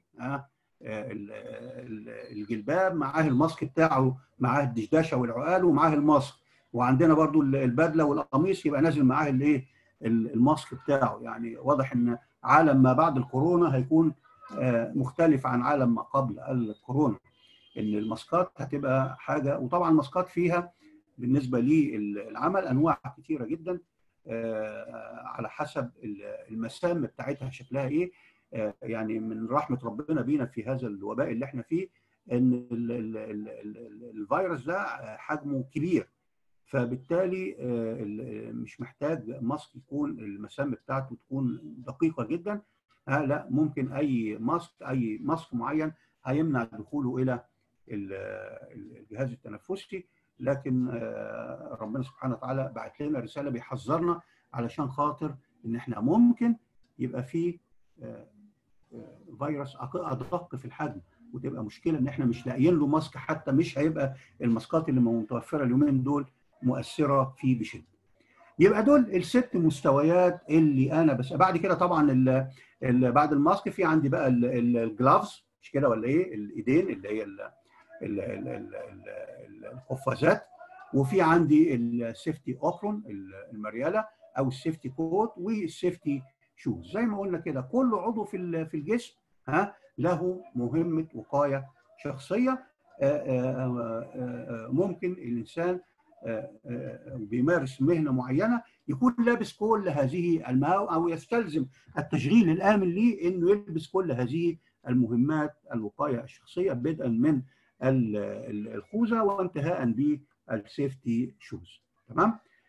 هم دول الست مستويات اللي مستخدمين في إدارة المخاطر أو في التعامل مع المخاطر طبقا طبعا للمستويات اللي إحنا حددناها. المناطق اللي في المنطقة الحمراء أو المخاطر اللي في المنطقة الحمراء لازم بنبدأ من فوق بنبدأ من الإزالة. مش كده ولا إيه؟ إزالة. أو تعويض وعزل يعني ممكن أستخدم عدة مستويات من هذه المستويات الستة في مكافحة أو في إدارة المخاطر بتاعتي علشان تنتقل من المنطقة الحمراء إلى المنطقة الخضراء أو البيضاء علشان العامل يبقى عندي في أعلى مستوى من مستويات الأمان يبقى إذا أنا عندي ال ال ال ال نرجع تاني للشريحة الرئيسية بتاعتنا ديت ها؟ إن أنا عندي في risk أو hazard identification في risk analysis في risk evaluation and في risk treatment أو risk management إحنا عرفنا دلوقتي إيه المقصود بكل حاجة من ديت إيه.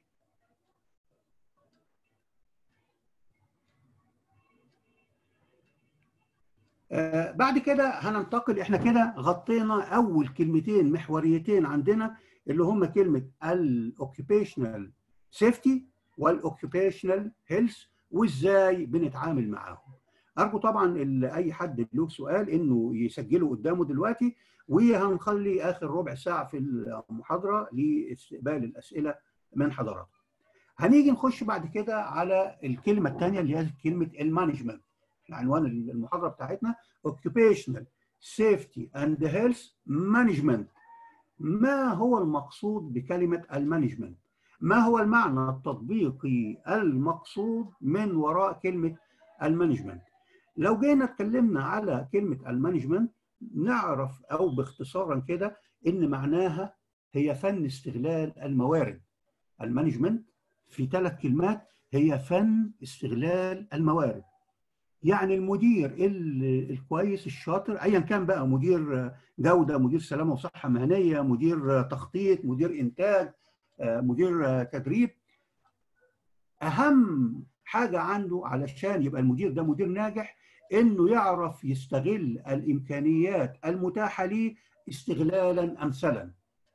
هذا هو المعنى الحقيقي التطبيقي لكلمة المانجمنت أو لكلمة الإدارة. لما نيجي نعرفها بالتفصيل نقول أن كلمة الإدارة هي مجموعة من الأنشطة المتسلسلة والمترابطة والمخططة. مجموعة من الأنشطة المتسلسلة والمترابطة والمخططة والتي تهدف إلى تهدف هذه الأنشطة إلى إيه؟ إلى تحقيق الاستغلال الأمثل للموارد المتاحة لتحقيق الأهداف المخططة على كافة المستويات. يبقى أنا معنى كلمة الإدارة هو إن أنا لازم أعمل شوية أنشطة هذه الأنشطة هيحصل لما أعملها استغلالا امثلا للموارد المتاحة عندي وتتحقق الأهداف المخططة. واضح كده التعريف بتاع كلمة الإدارة؟ طيب معنى كده إن أنا لازم يبقى عندي أهداف مش كده ولا إيه؟ لازم يبقى عندي إدارة حتى في علم في كده يقول لك الإدارة بالأهداف. لازم عندي أهداف والأهداف دي كمان تكون planned تكون مخططة planned objectives تمام؟ يعني ما أقدرش أشتغل أو العمل المؤسسي الحقيقي ان أنا لازم يبقى عندي أهداف وهذه الأهداف بيحصل لها breakdown على الإدارات المختلفة تمام؟ بل على الأفراد كمان. لازم كل واحد فينا جوه المؤسسة يبقى له target يبقى عارف هو موجود في هذه الوظيفة ليه إيه المطلوب منه.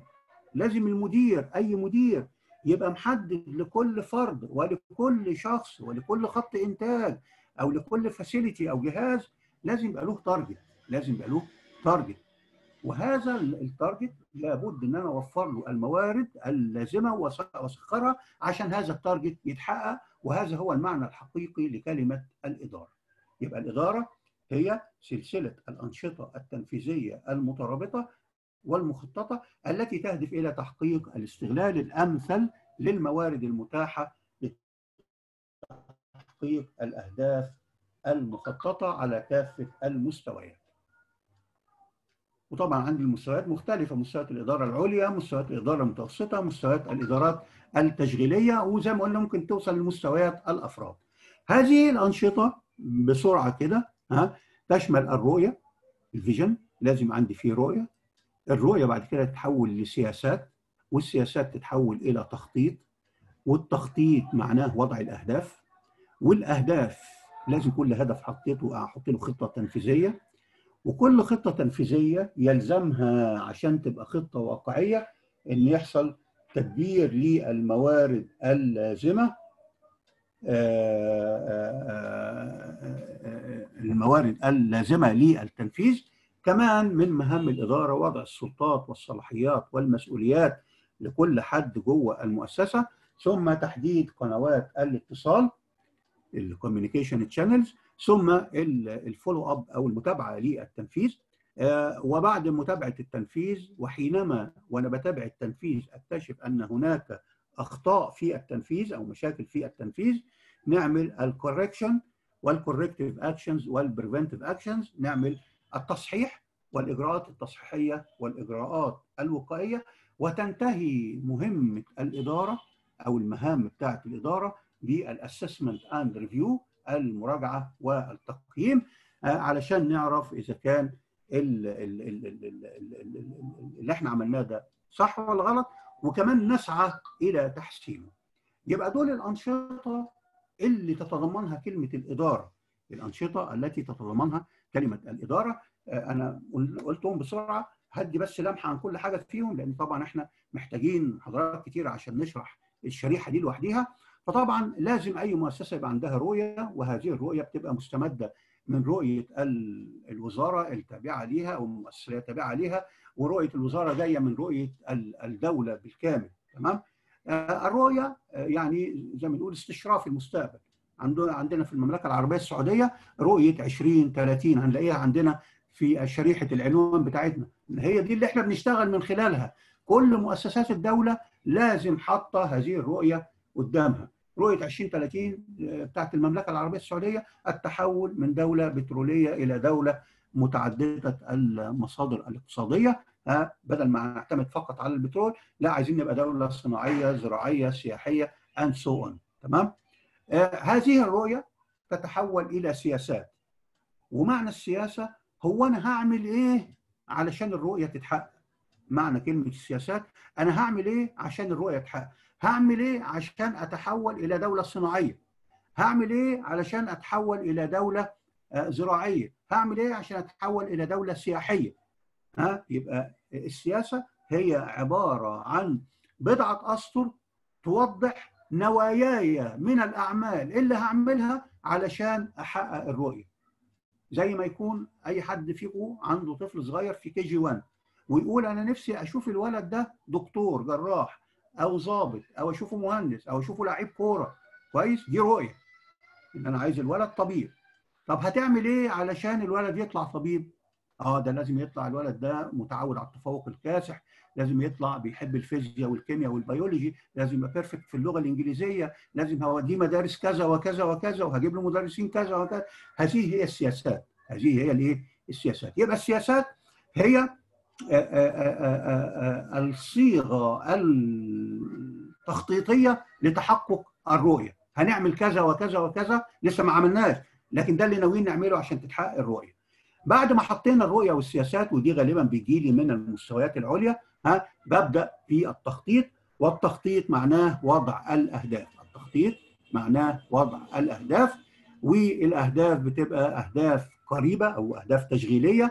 وأهداف متوسطة وأهداف بعيدة المدى.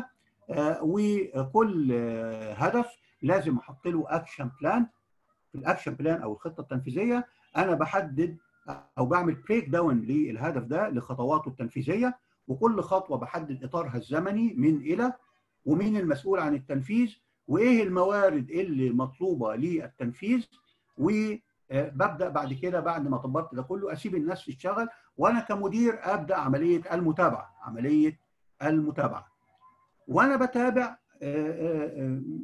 مؤكد هبقى عندي حاله من ثلاثة يا اما الناس بتنفذ وتعدد المخطط وده شيء كويس بس بشرط جوده التنفيذ والخلو من العيوب ها أو ان أنا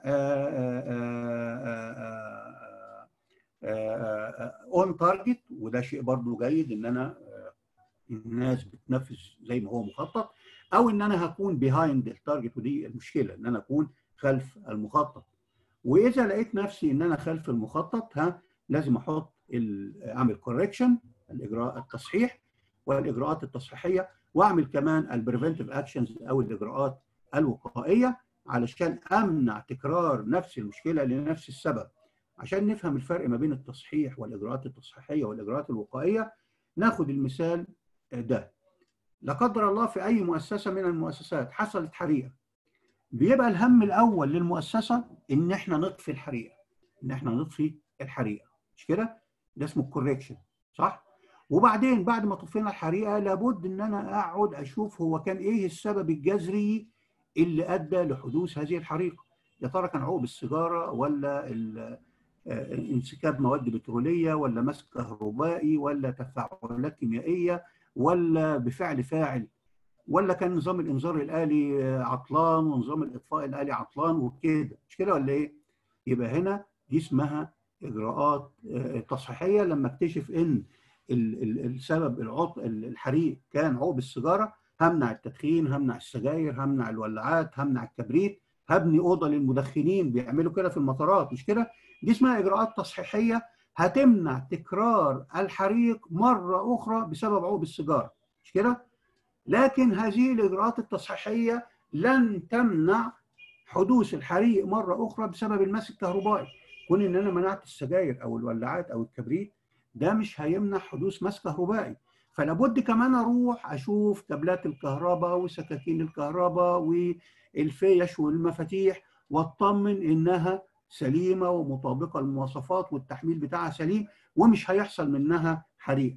وأروح على مخازن المواد البترولية وأطمن إنها مجهزة باحتياطات الأمان والطفايات والكميات المخزنة مظبوطة. وأروح على مخازن المواد الكيماوية عشان أطمن إن ما فيش مواد incompatible غير متوافقة متخزنة مع بعضيها. مش كده ولا إيه؟ عشان ما يحصلش منها حريقه دي بنسميها إجراءات وقائية. يبقى الإجراءات الوقائية الغرض منها تلافي حدوث نفس المشكلة لسبب آخر ما حصلتش منه المشكلة. ثم بعد ذلك إن إحنا نعمل assessment and review لكل فات ده للرؤية وللسياسات وللتخطيط وللموارد وللسلطات والصلاحيات والمسؤوليات والقنوات الاتصال بغرض إن إحنا نحسن فيها. لو اكتشفنا إن عندنا قصور في الجوب ديسكريبشن بتاع وظيفة معينة نعيده. لو اكتشفنا قصور في مستويات الإبلاغ عن الحوادث وأدى ده إلى تفاقم الإصابات يبقى لازم تتحسن قنوات الاتصال. يبقى هنا عملية المراجعة والتقييم بغرض التعلم والتحسين للقادم. يبقى ده معناه ال ال ال ال ال الأنشطة اللي لازم المدير يعملها أو الإدارة تعملها. تمام؟ طيب هذه ال ال ال ال الإجراءات لما تتعمل هيحصل استغلال أمثل للموارد هيحصل استغلال أمثل للموارد المتاحة. طب هي يا ترى إيه الموارد المتاحة في أي مؤسسة؟ الموارد المتاحة في أي مؤسسة هي تشمل موارد مادية ملموسة أقدر أحط عليها إيدي ونوع آخر من الموارد بتسميه الموارد المعنوية المحسوسة. الموارد المادية الملموسة تشمل الموارد البشرية وتشمل رؤوس الأموال والمباني والأجهزة والمعدات والمخازن والشبكات شبكات المية والصرف والآي تي البنى التحتية التجهيزات تمام؟ مصادر الطاقة مصادر المعرفة كل دي بنسميها موارد مادية ملموسة. لازم أحقق أقصى استغلال منها. أيضا في عندي نوع تاني من الموارد بنسميه الموارد المعنوية المحسوسة. اللي أهمها الوقت. هل الوقت يا جماعة من من الموارد ولا لا؟ بالذات عندنا في السيفتي الوقت يفرق. التيكا سكند. مش كده ولا إيه؟ الثانية بتفرق. مش كده ولا إيه؟ كمان الأيدياز أو الأفكار. الأفكار دي برضو من ضمن الموارد بس موارد معنوية محسوسة. ما هياش ممسوكه تمام؟ السمعة الاسم التجاري العلامة التجارية. مش كده ولا إيه؟ الشعار بتاع الهيئة السعودية للمواصفات والمقاييس والجودة دي ده ده ده شعار ثمين ده اللي يشوفه في أي مكان ده لازم يعني عندنا بلغة الجيش يقف ويؤدي التحية لأنها مؤسسة محترمة عريقة مش كده ولا إيه؟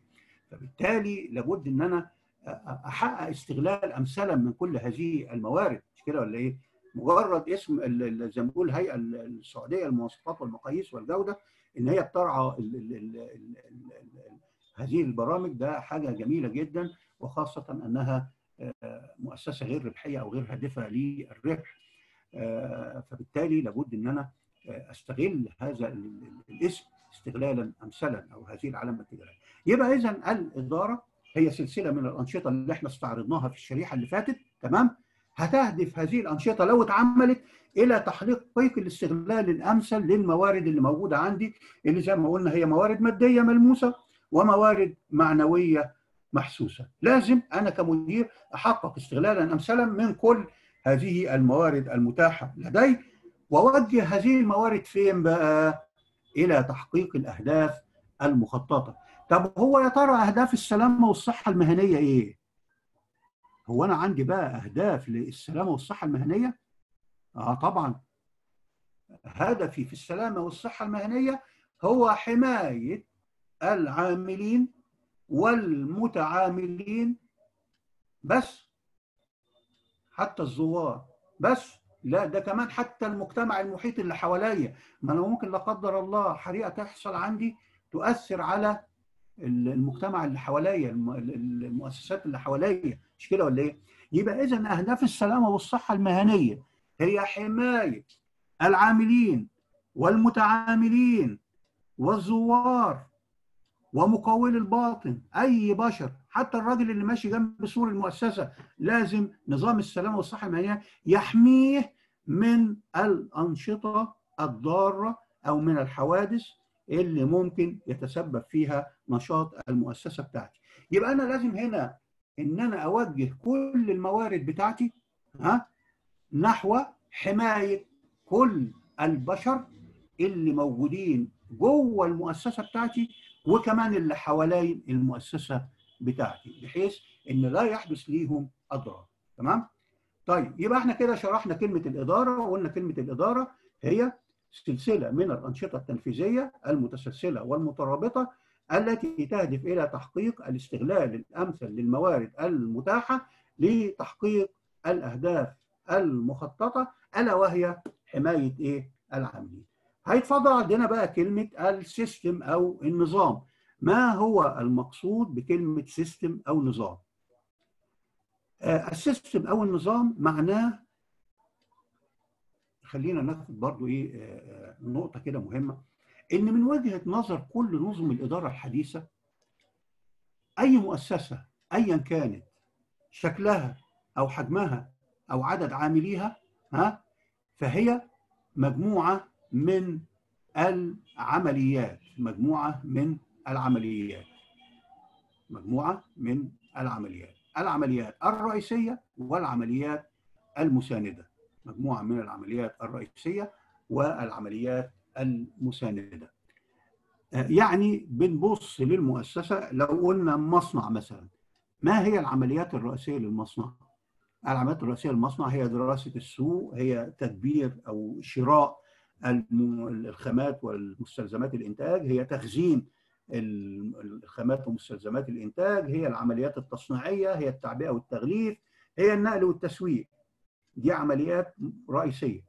لكن أيضا عندي في المصنع في صيانة وفي تدريب وفي شؤون مالية وإدارية وفي HR وفي سلامة وصحة مهنية. هذه عمليات أخرى بنسميها العمليات المساندة.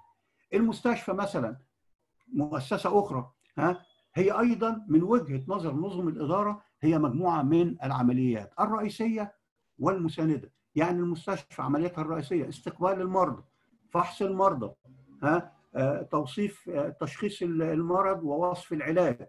وإن كان محتاج مزيد من الفحص يبقى في عندنا أشعة وتحاليل. وبناء على الأشعة والتحاليل يبقى في وصف علاج وخروج أو في استبقاء علشان إجراء عملية جراحية. وأثناء الاستبقاء في تنويم وفي إقامة وفي تغذية وفي تعقيم وفي تجهيز لإجراء العملية الجراحية. وبعد العملية الجراحية يا إما في علاج وخروج أو في لا قدر الله خروج بس خروج نهائي بقى الله يرحمه كان راجل طيب. مش كده ولا إيه؟ أو حتى بعد الخروج ده في عندي ثلاجه وفي مغسلة وفي ما شابه ذلك. والمستشفى فيها صيدلية وفيها مطبخ وفيها مغسلة وفيها حاجات كتيرة جدا. مش كده ولا إيه؟ دي عمليات رئيسية عشان مرتبطة بالمريض. لكن أيضا المستشفى فيها تدريب وفيها شؤون مالية وإدارية وفيها صيانة وفيها أمن وحراسة وفيها سلامة وصحة مهنية. صح ولا غلط؟ البنك مركز التدريب المدرسة المس...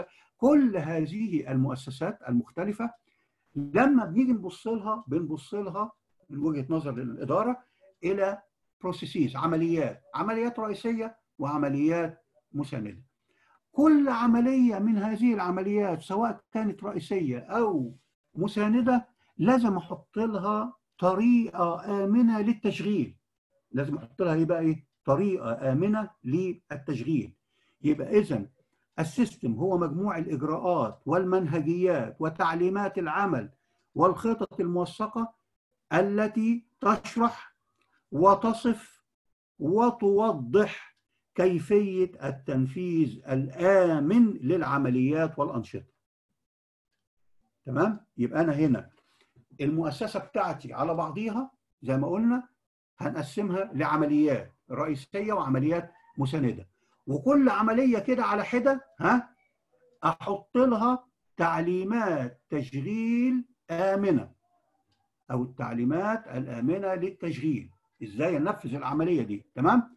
هذه المنهجيات أو الإجراءات لازم بتكون بتشرح وتصف وتوضح الإيه؟ التشغيل الآمن. بمعنى إن هذه المنهجيات ها لازم تجاوب لي على خمس أسئلة. تجاوب لي على خمس أسئلة. مين بيعمل إيه؟ إمتى؟ وإزاي؟ وليه؟ يبقى المنهجية معناها إيه؟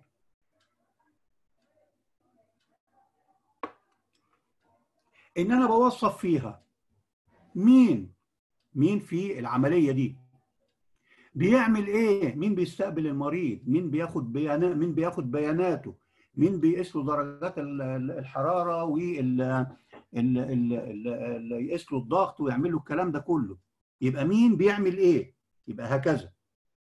كل واحد متوصف دوره في المنهجية. إمتى؟ مين رقم واحد؟ مين رقم اثنين مين رقم ثلاثة مين رقم عشرة؟ تمام؟ وكمان بيعمل ده إزاي؟ لازم أوصف له ها؟ إزاي تعمل الكلام ده؟ يبقى كل واحد حددت مين بيعمل إيه إمتى. وكمان أهم ما في الموضوع إزاي بيعمله. إزاي بيعملوا ال best practice الطريقة المثلى اللي يؤدي بيها هذا النشاط بتاعه. وكمان بيعمل ده ليه؟ ليه بيعمله بالطريقة دي؟ ها؟ إيه الدليل المادي الملموس على إن هو ده ال ال ال ال الأسلوب الأمثل للتاديه بتاع الموضوع.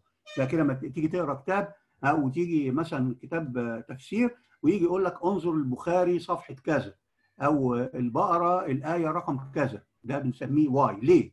المرجعية بتاعتنا إيه؟ تمام؟ يبقى إذا ال system هو عبارة عن مجموع المنهجيات الموثقة ها التي تشرح وتصف وتوضح كيفية تنفيذ العمليات والأنشطة بأمان. safely تمام؟ Is the safest way to perform the job تمام؟ وهذه المنهجية زي ما قلنا بتجاوب على خمس أسئلة. مين بيعمل إيه؟ إمتى؟ وإزاي؟ وليه؟ طيب آه ال ال ال ال زي ما قلنا إن هذه ال ال ال ال الأشياء بتهدف إلى بتهدف إلى آه ضمان وأمان وسلامة العاملين والمتعاملين.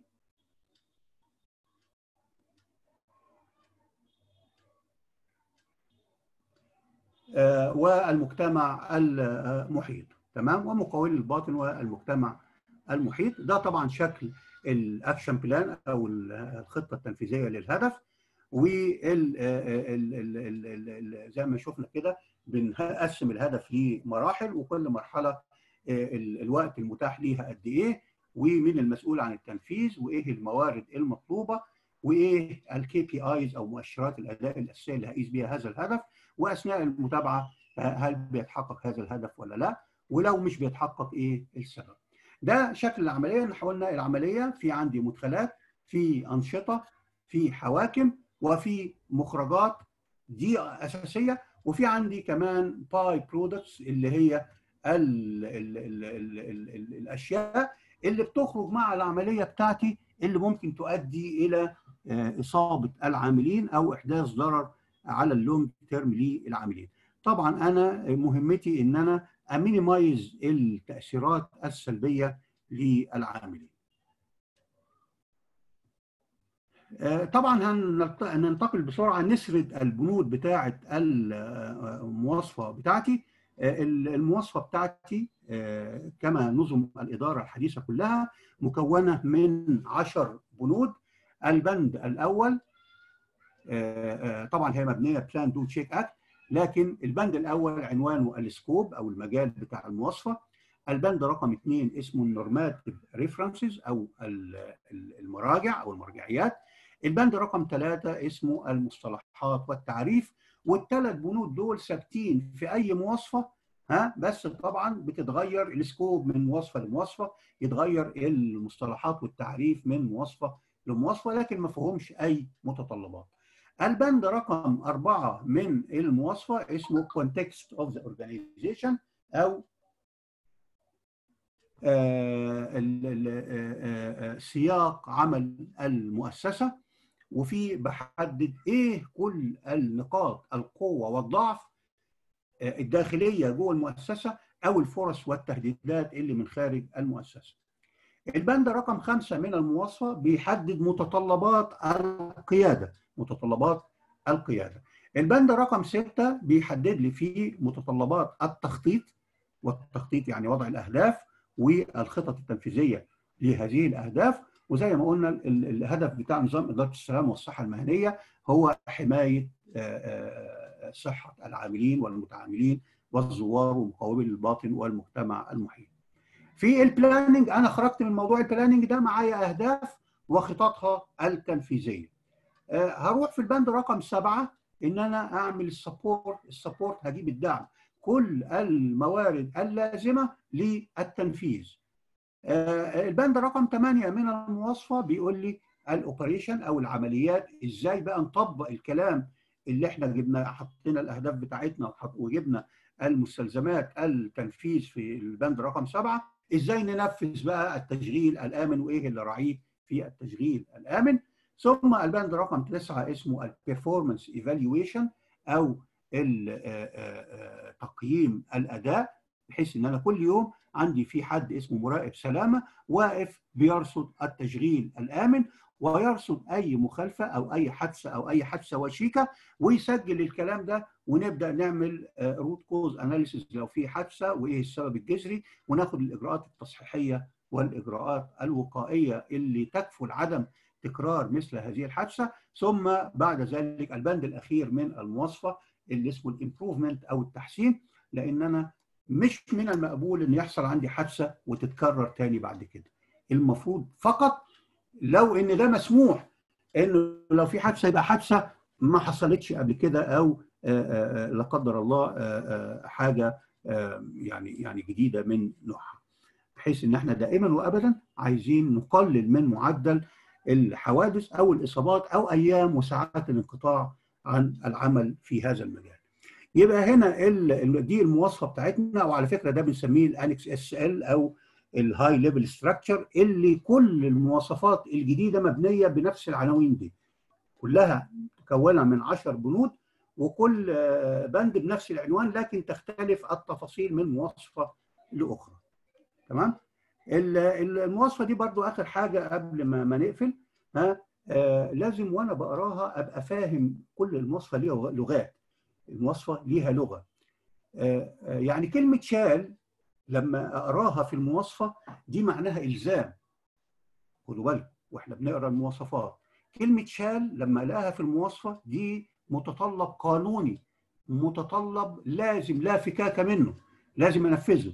يبقى أنا لما جي لو جيت عايز أطبق المواصفة دي وبقرأ المواصفة ولقيت كلمة شال العبارة اللي بعديها اللي بعد كلمة شال دي ده إلزام عليا إن أنا أعمله. في اللغة العربية دايما بنترجم كلمة شال إلى يجب. يجب على المؤسسة كذا ده إلزام. الكلمة اللي أقل منها في القوة كلمة شود. كلمة شود معناها ريكومنديشن أو توصية أو نصيحة. في اللغة العربية في المواصفات المترجمة باللغة العربية بنترجمها لكلمة ينبغي. شود يعني ينبغي دي توصية دي اللجنه اللي حطت المواصفة دي شافت إن أنت من الأفضل إن أنت تعمل كده. الكلمة الأقل منها في القوة كلمة مي ومي يعني يجوز بنترجمها في اللغة العربية إلى يجوز. إذا كنت أنت شايف إن ده كويس يجوز لك إنك تعمل كده. المصطلح الأخير في القوة كلمة كان كلمة كان وكان يعني تستطيع إنك تعمل كده. كان ومي الاثنين يعني قريبين من بعض. في المعنى التطبيقي بتاعهم. طبعا آخر شريحة عندي في المحاضرة بتاعتنا النهارده البنود التفصيلية بتاعت اللي إحنا خدنا في الشريحة دي البنود الإجمالية. هنا في الشريحة دي البنود الفرعية لكل بند جوه المواصفة. عندي بند رقم أربعة لعنوانه Context of the Organization. فيها عندي ثلاث بنود رئيسية. بيقول لي افهم السياق. ومعنى فهم السياق إنك تحدد النقاط القوة والضعف اللي ممكن تؤدي إلى حدوث حوادث أو مهددات لسلامة العامل لازم نفهم إيه المصادر السورسز بتاعت بعد كده تاني البند رقم 4 2 بيقول لي understanding the needs and expectations of workers and other interested parties اللي هم الزوار ومقاولي الباطن والمجتمع المحيط لازم أفهم برضو احتياجاتهم من السلامة والصحة المهنية. وبعدين نحط ال determining of the scope of the occupational health and safety management system ونحط العمليات بتاعه ال ال ال المؤسسية بتاعتنا والمنهجيات بتاعه التشغيل الآمن. البند رقم خمسة فيه أربع بنود فرعية، البند رقم خمسة عنوانه ال leadership ها؟ بيقول لي leadership and commitment ال policy اللي هي السياسات وإحنا بنشرح كلمة الإدارة قلناها. وبعدين المهام والمسؤوليات بتاعه كل حد جوه المؤسسة. وبعدين مشاركة العاملين في لازم في كل مؤسسة يبقى في لجنة اسمها لجنة السلامة والصحة المهنية لازم ناخد رأيهم.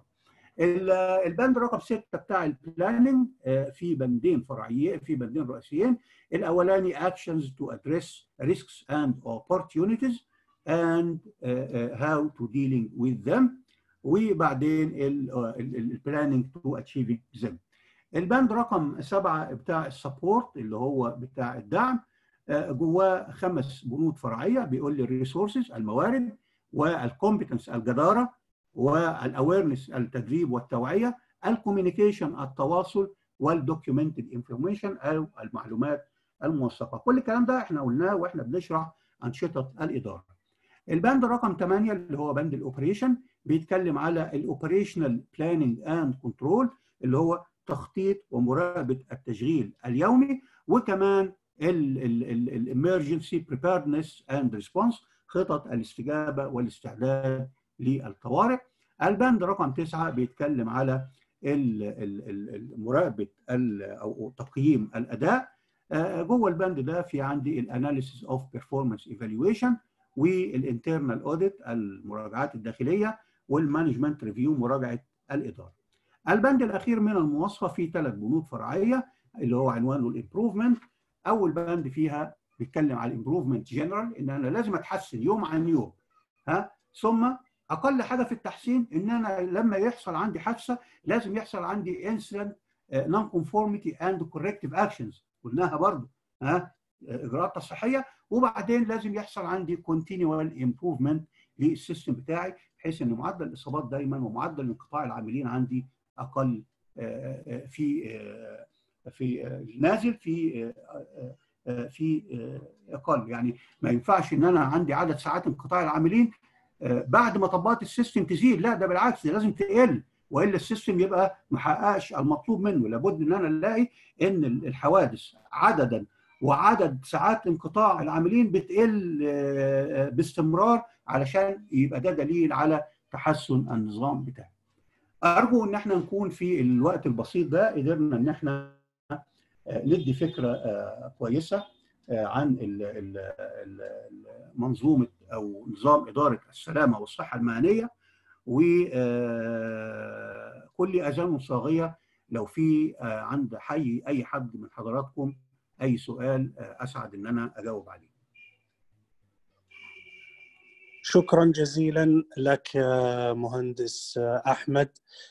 نأخذ بعض أسئلة الحضور. ممكن الحضور يضعون أسئلتهم في خانة ال Q and A السؤال الأول ما هو الفرق بين الايزو 45001 والأوساس 18001 تمام.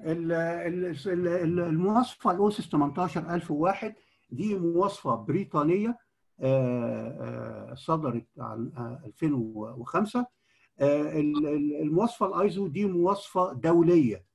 طبعا عندنا في المواصفات في عندي أربع مستويات من المواصفات.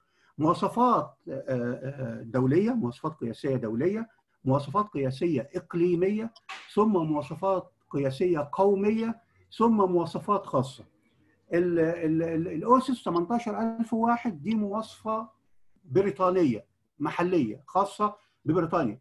لكن كان معظم الدول بتاخد الأوسس وتطبقها لأن الأيزو أول version من إصدارها لمواصفة في السلامة والصحة المهنيه كانت الايزو 45001 يبقى المواصفة الايزو 45001 صادرة عن منظمة الايزو في 2018 واتبنت على الاوسس 18001 خدنا تقريبا كل البنود اللي موجودة في ال 18001 وضمناها جوه بنود الايزو 45001 وزودنا عليها ووحدناها مع بقيه نظم الإدارة المختلفة طبقا للتركيب البنائي بتاع العشر بنود. ممتاز شكرا لك مهندس أحمد السؤال التالي هل من الممكن تقبل حدوث الخطر إذا كانت تكلفته المادية أو المعنوية أقل من تكلفة معالجته؟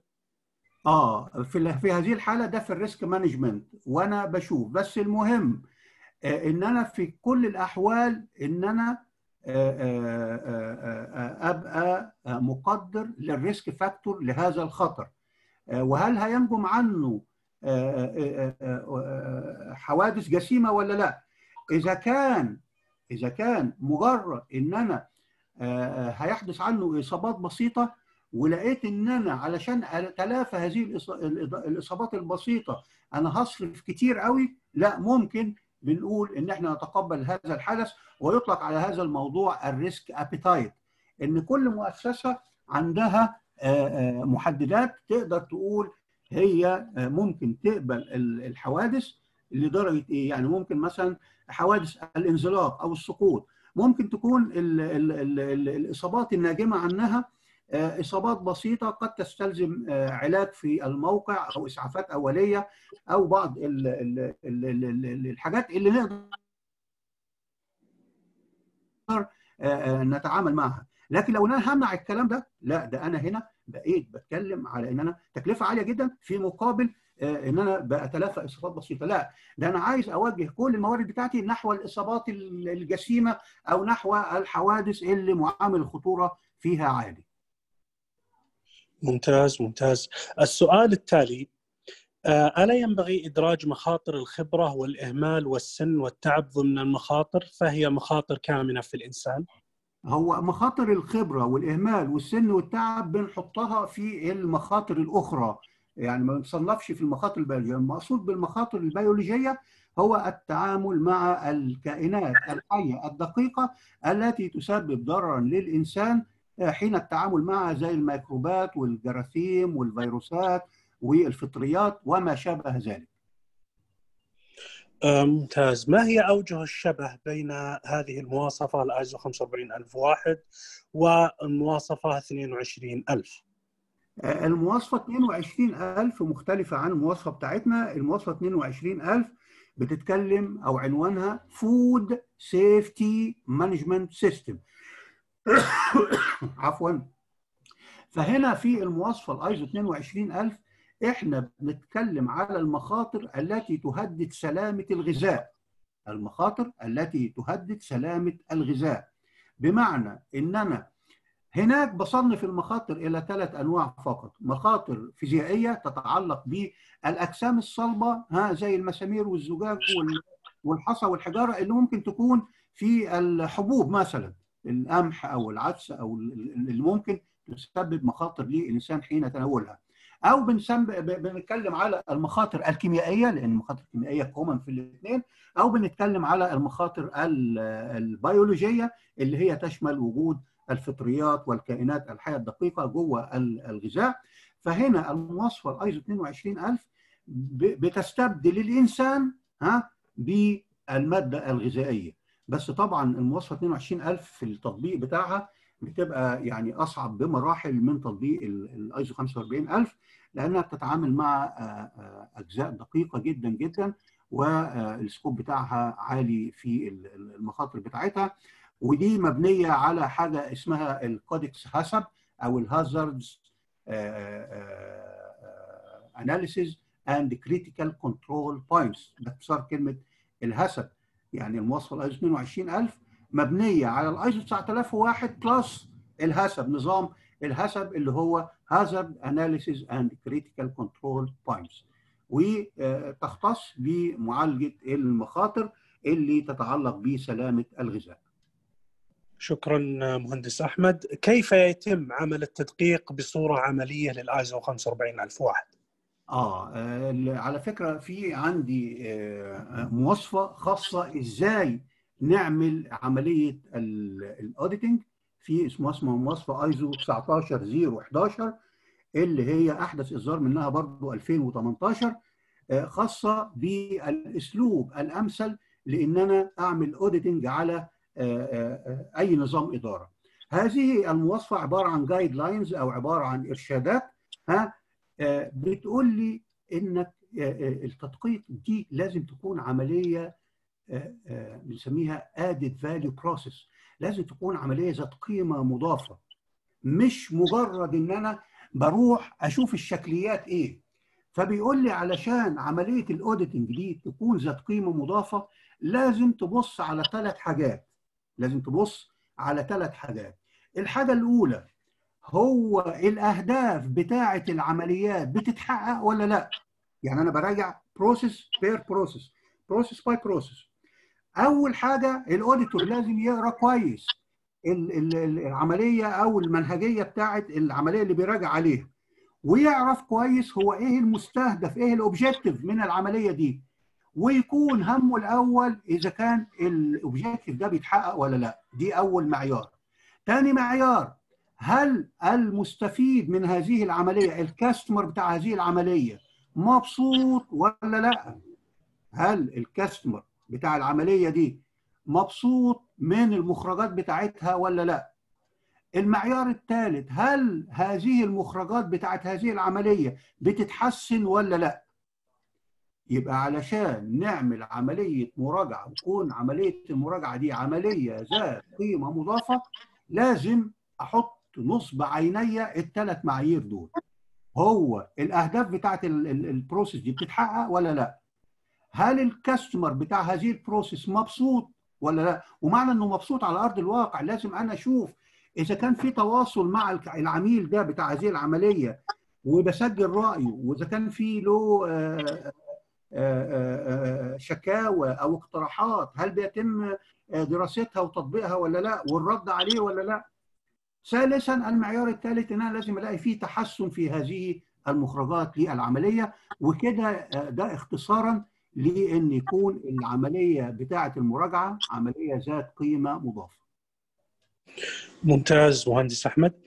السؤال التالي من أكبر التحديات التي تواجه إدارة السلامة هو اقتناع صاحب المؤسسة. ما هي النصائح التي تعطيها لإقناع صاحب المؤسسة والموظفين لتطبيق إجراءات السلامة؟ آه لا النصيحة أنا مش هديها لصاحب المؤسسة أنا هديها لصاحب السؤال. صاحب السؤال هو اللي معني إنه ينقل لصاحب المؤسسة أنه إذا لم يتبع هذه التعليمات أو التشغيل أو مواصفات التشغيل الآمن فهو الخاسر الأكبر. خد بالك إن صاحب العمل دايما يفهم لغة المال. صاحب العمل دائما يفهم لغة المال ولغة الأرقام. أنا هبني نظام لإدارة السلامه والصحة المهنية هيكلفني مبلغ وقدره.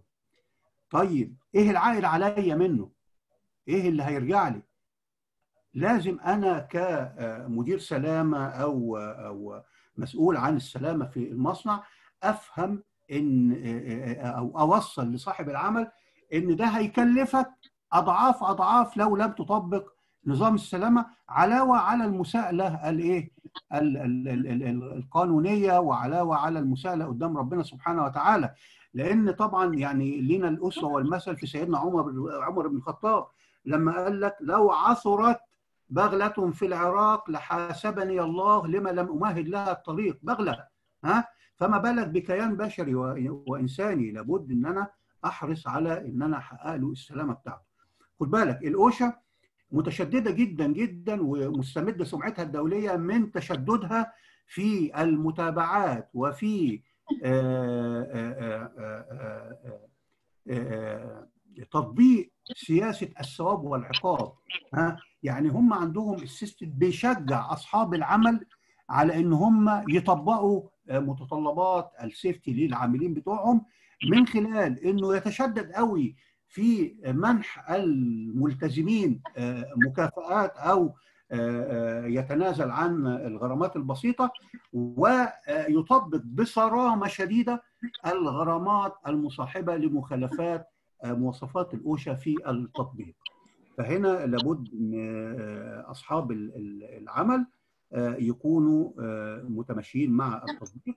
أولا من وجهة نظر الضمير أو المنهج الإسلامي اللي تركه لنا سيدنا رسول الله ألا وهو حفاظ النفس الحفاظ على النفس البشرية وأمانة هنحاسب عليها وتحط ال ال ال القول بتاع سيدنا عمر بن الخطاب نصب عينيه وفي ناحية أخرى إن دي أحد المتطلبات القانونية اللي لازم إن إحنا نراعيها. آه شكرا مهندس أحمد، السؤال الأخير كم مرة يجب تقييم المخاطر؟ آه تقييم المخاطر آه مش حكاية إن أنا كم مرة إنما آه مينلي أنا عندي ثلاث حالات لازم أعمل فيها تقييم لإعادة أو إعادة لتقييم المخاطر.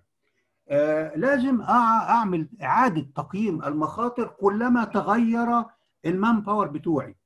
يعني لو أنا كان عندي العمالة البشرية اللي موجودة عندي competent ومتدربة وفاهمة إزاي التشغيل الآمن وبعدين العمالة البشرية دي مشيت وسابتني أو عدد كبير منها مشي وسابني أو بالذات الوظائف الحساسة اللي هي فيها مخاطر شديدة لابد أعيد تاني تقييم المخاطر لأن هنا العامل البشري عامل مهم جدا أو source من مصادر الخطر. آه ثانيا لازم أعمل إعادة تاني لتقييم المخاطر إلى آه آه كلما مر فترة من الزمن. لأن بديهي إن المكنة أو السيارة مثلا على سبيل المثال اللي على الزيرو طبعا بالتأكيد غير السيارة اللي بعد ما تقطع 1000 كيلو أو 2000 أو 10000 كيلو أو بعد ثلاث سنين. مش كده ولا إيه؟ فهنا بالتالي أنا بقيت محتاج إن أنا أعيد تاني عملية تقييم المخاطر. يبقى هعمل تقييم المخاطر. عند تغير العمالة الماهرة هعمل تاني إعادة لتقييم المخاطر بعد مرور فترة زمنية مناسبة. المكن فيها لما بيتقادم بيبقى هو المكن مصدر من مصادر الخطورة. طبعا زي ما قلنا عربيه على الزيرو غير عربيه بعد ثلاث سنين. آه كمان لو إن القانون أهم بقى معيار أعيد فيه آه عملية التقييم المخاطر لو القانون بتاع العمل السعودي اللي هو آه بيحدد فيه الحدود العتبية للتشغيل الآمن اتغير لازم أنا كمان تبعا لده أعيد منظومة تقييم المخاطر بتاعتي. لأن أنا مرتبط ده من ضمن شروط سياسة السلام والصحة المهنية إن أنا مرتبط بتحقيق المتطلبات القانونية والتشريعية. فلو ان قانون العمل قال إن درجة الحرارة المسموح بها العمل مثلا هي درجة 30 درجة مئوية ورجع بعد كده خفضها إلى 26 أنا بقيت مضطر إن أنا أعدل ال risk matrix بتاعي ها وهكذا. لو قال لي إن مستويات الضوضاء كانت 90 ديسبل بقت 85 يبقى أنا مضطر أعدل برضو تقييم المخاطر بتاعتي عشان أتماشى مع القانون. يبقى أبرز ثلاث حالات لازم أعيد فيهم عملية تقييم المخاطر هي إذا اتغيرت العمالة إذا اتغير ال ال ال القانون إذا المرور بعد مرور فترة زمنية من التشغيل بحيث إن إحنا الماكينات بتاعتي بقت مصدر من مصادر الخطورة أو إذا المواصفة بتاعتنا دي اللي هي 45001 دي اتغيرت. لو صحينا الصبح أو بعد فترة لقينا المواصفة دي اتغيرت بقيت أنا مضطر أعمل تقييم جديد لعملية المخاطر. شكرا لك يا مهندس أحمد نعتذر للحضور عن استقبال المزيد من الأسئلة لضيق الوقت نترككم الآن مع الأستاذ يونس المالك مدير مركز التدريب لختام هذه المحاضرة. شكرا جزيلا للمحاضر الخبير اللواء أحمد بسيوني وردت عده طلبات وملاحظات طالبت بحضور دورات متخصصة تحديدا مع المدرب. أود الإشادة أن المدرب الخبير أحمد بسيوني هو مدرب معتمد لدى مركز التدريب. سبق أن أقام عدة دورات متخصصة في نظم الإدارة أو في الصحة والسلامة المهنية. هو طبعا خبير معتمد. إضافة إلى ذلك هو كبير مدربين درب عدة مدربين وأيضا محكم لحقائب تدريبية. سيكون إن شاء الله إذا الله أعطانا عمر إن شاء الله وعاد العمل المكتبي سيكون إن شاء الله متواجد معنا في الدورات أتمنى من الجميع يتابعون مواقع التواصل لمركز التدريب وإن شاء الله حيكون معنا أبو أبو هيثم الله. أشكر الزملاء من غرفة التحكم في المحاضرة الزميل عبد الله التركي، الزميل بندر الدخيل، الزميل مبارك الرشيدي، الزميل مشعل الطيار، الزميلة أشواق البلوي. شكرا جزيلا لجميع الحضور على التفاعل الإيجابي والمشاركة الفعالة. نتطلع رؤيتكم إن شاء الله في البرامج التدريبية المتخصصة بعد عودة العمل. في بعض بس الأسئلة كانت على مواقع مركز التدريب. مركز التدريب لديه قاعات في الرياض قاعات تدريبية مجهزة في الرياض وفي جدة وفي الدمام. كما يمكن لمركز التدريب إقامة الدورات التدريبية في أي منطقة ومناطق المملكة بحسب الطلب. شكرا جزيلا للحضور. أتمنى أن نلقاكم إن شاء الله في اللقاءات القادمة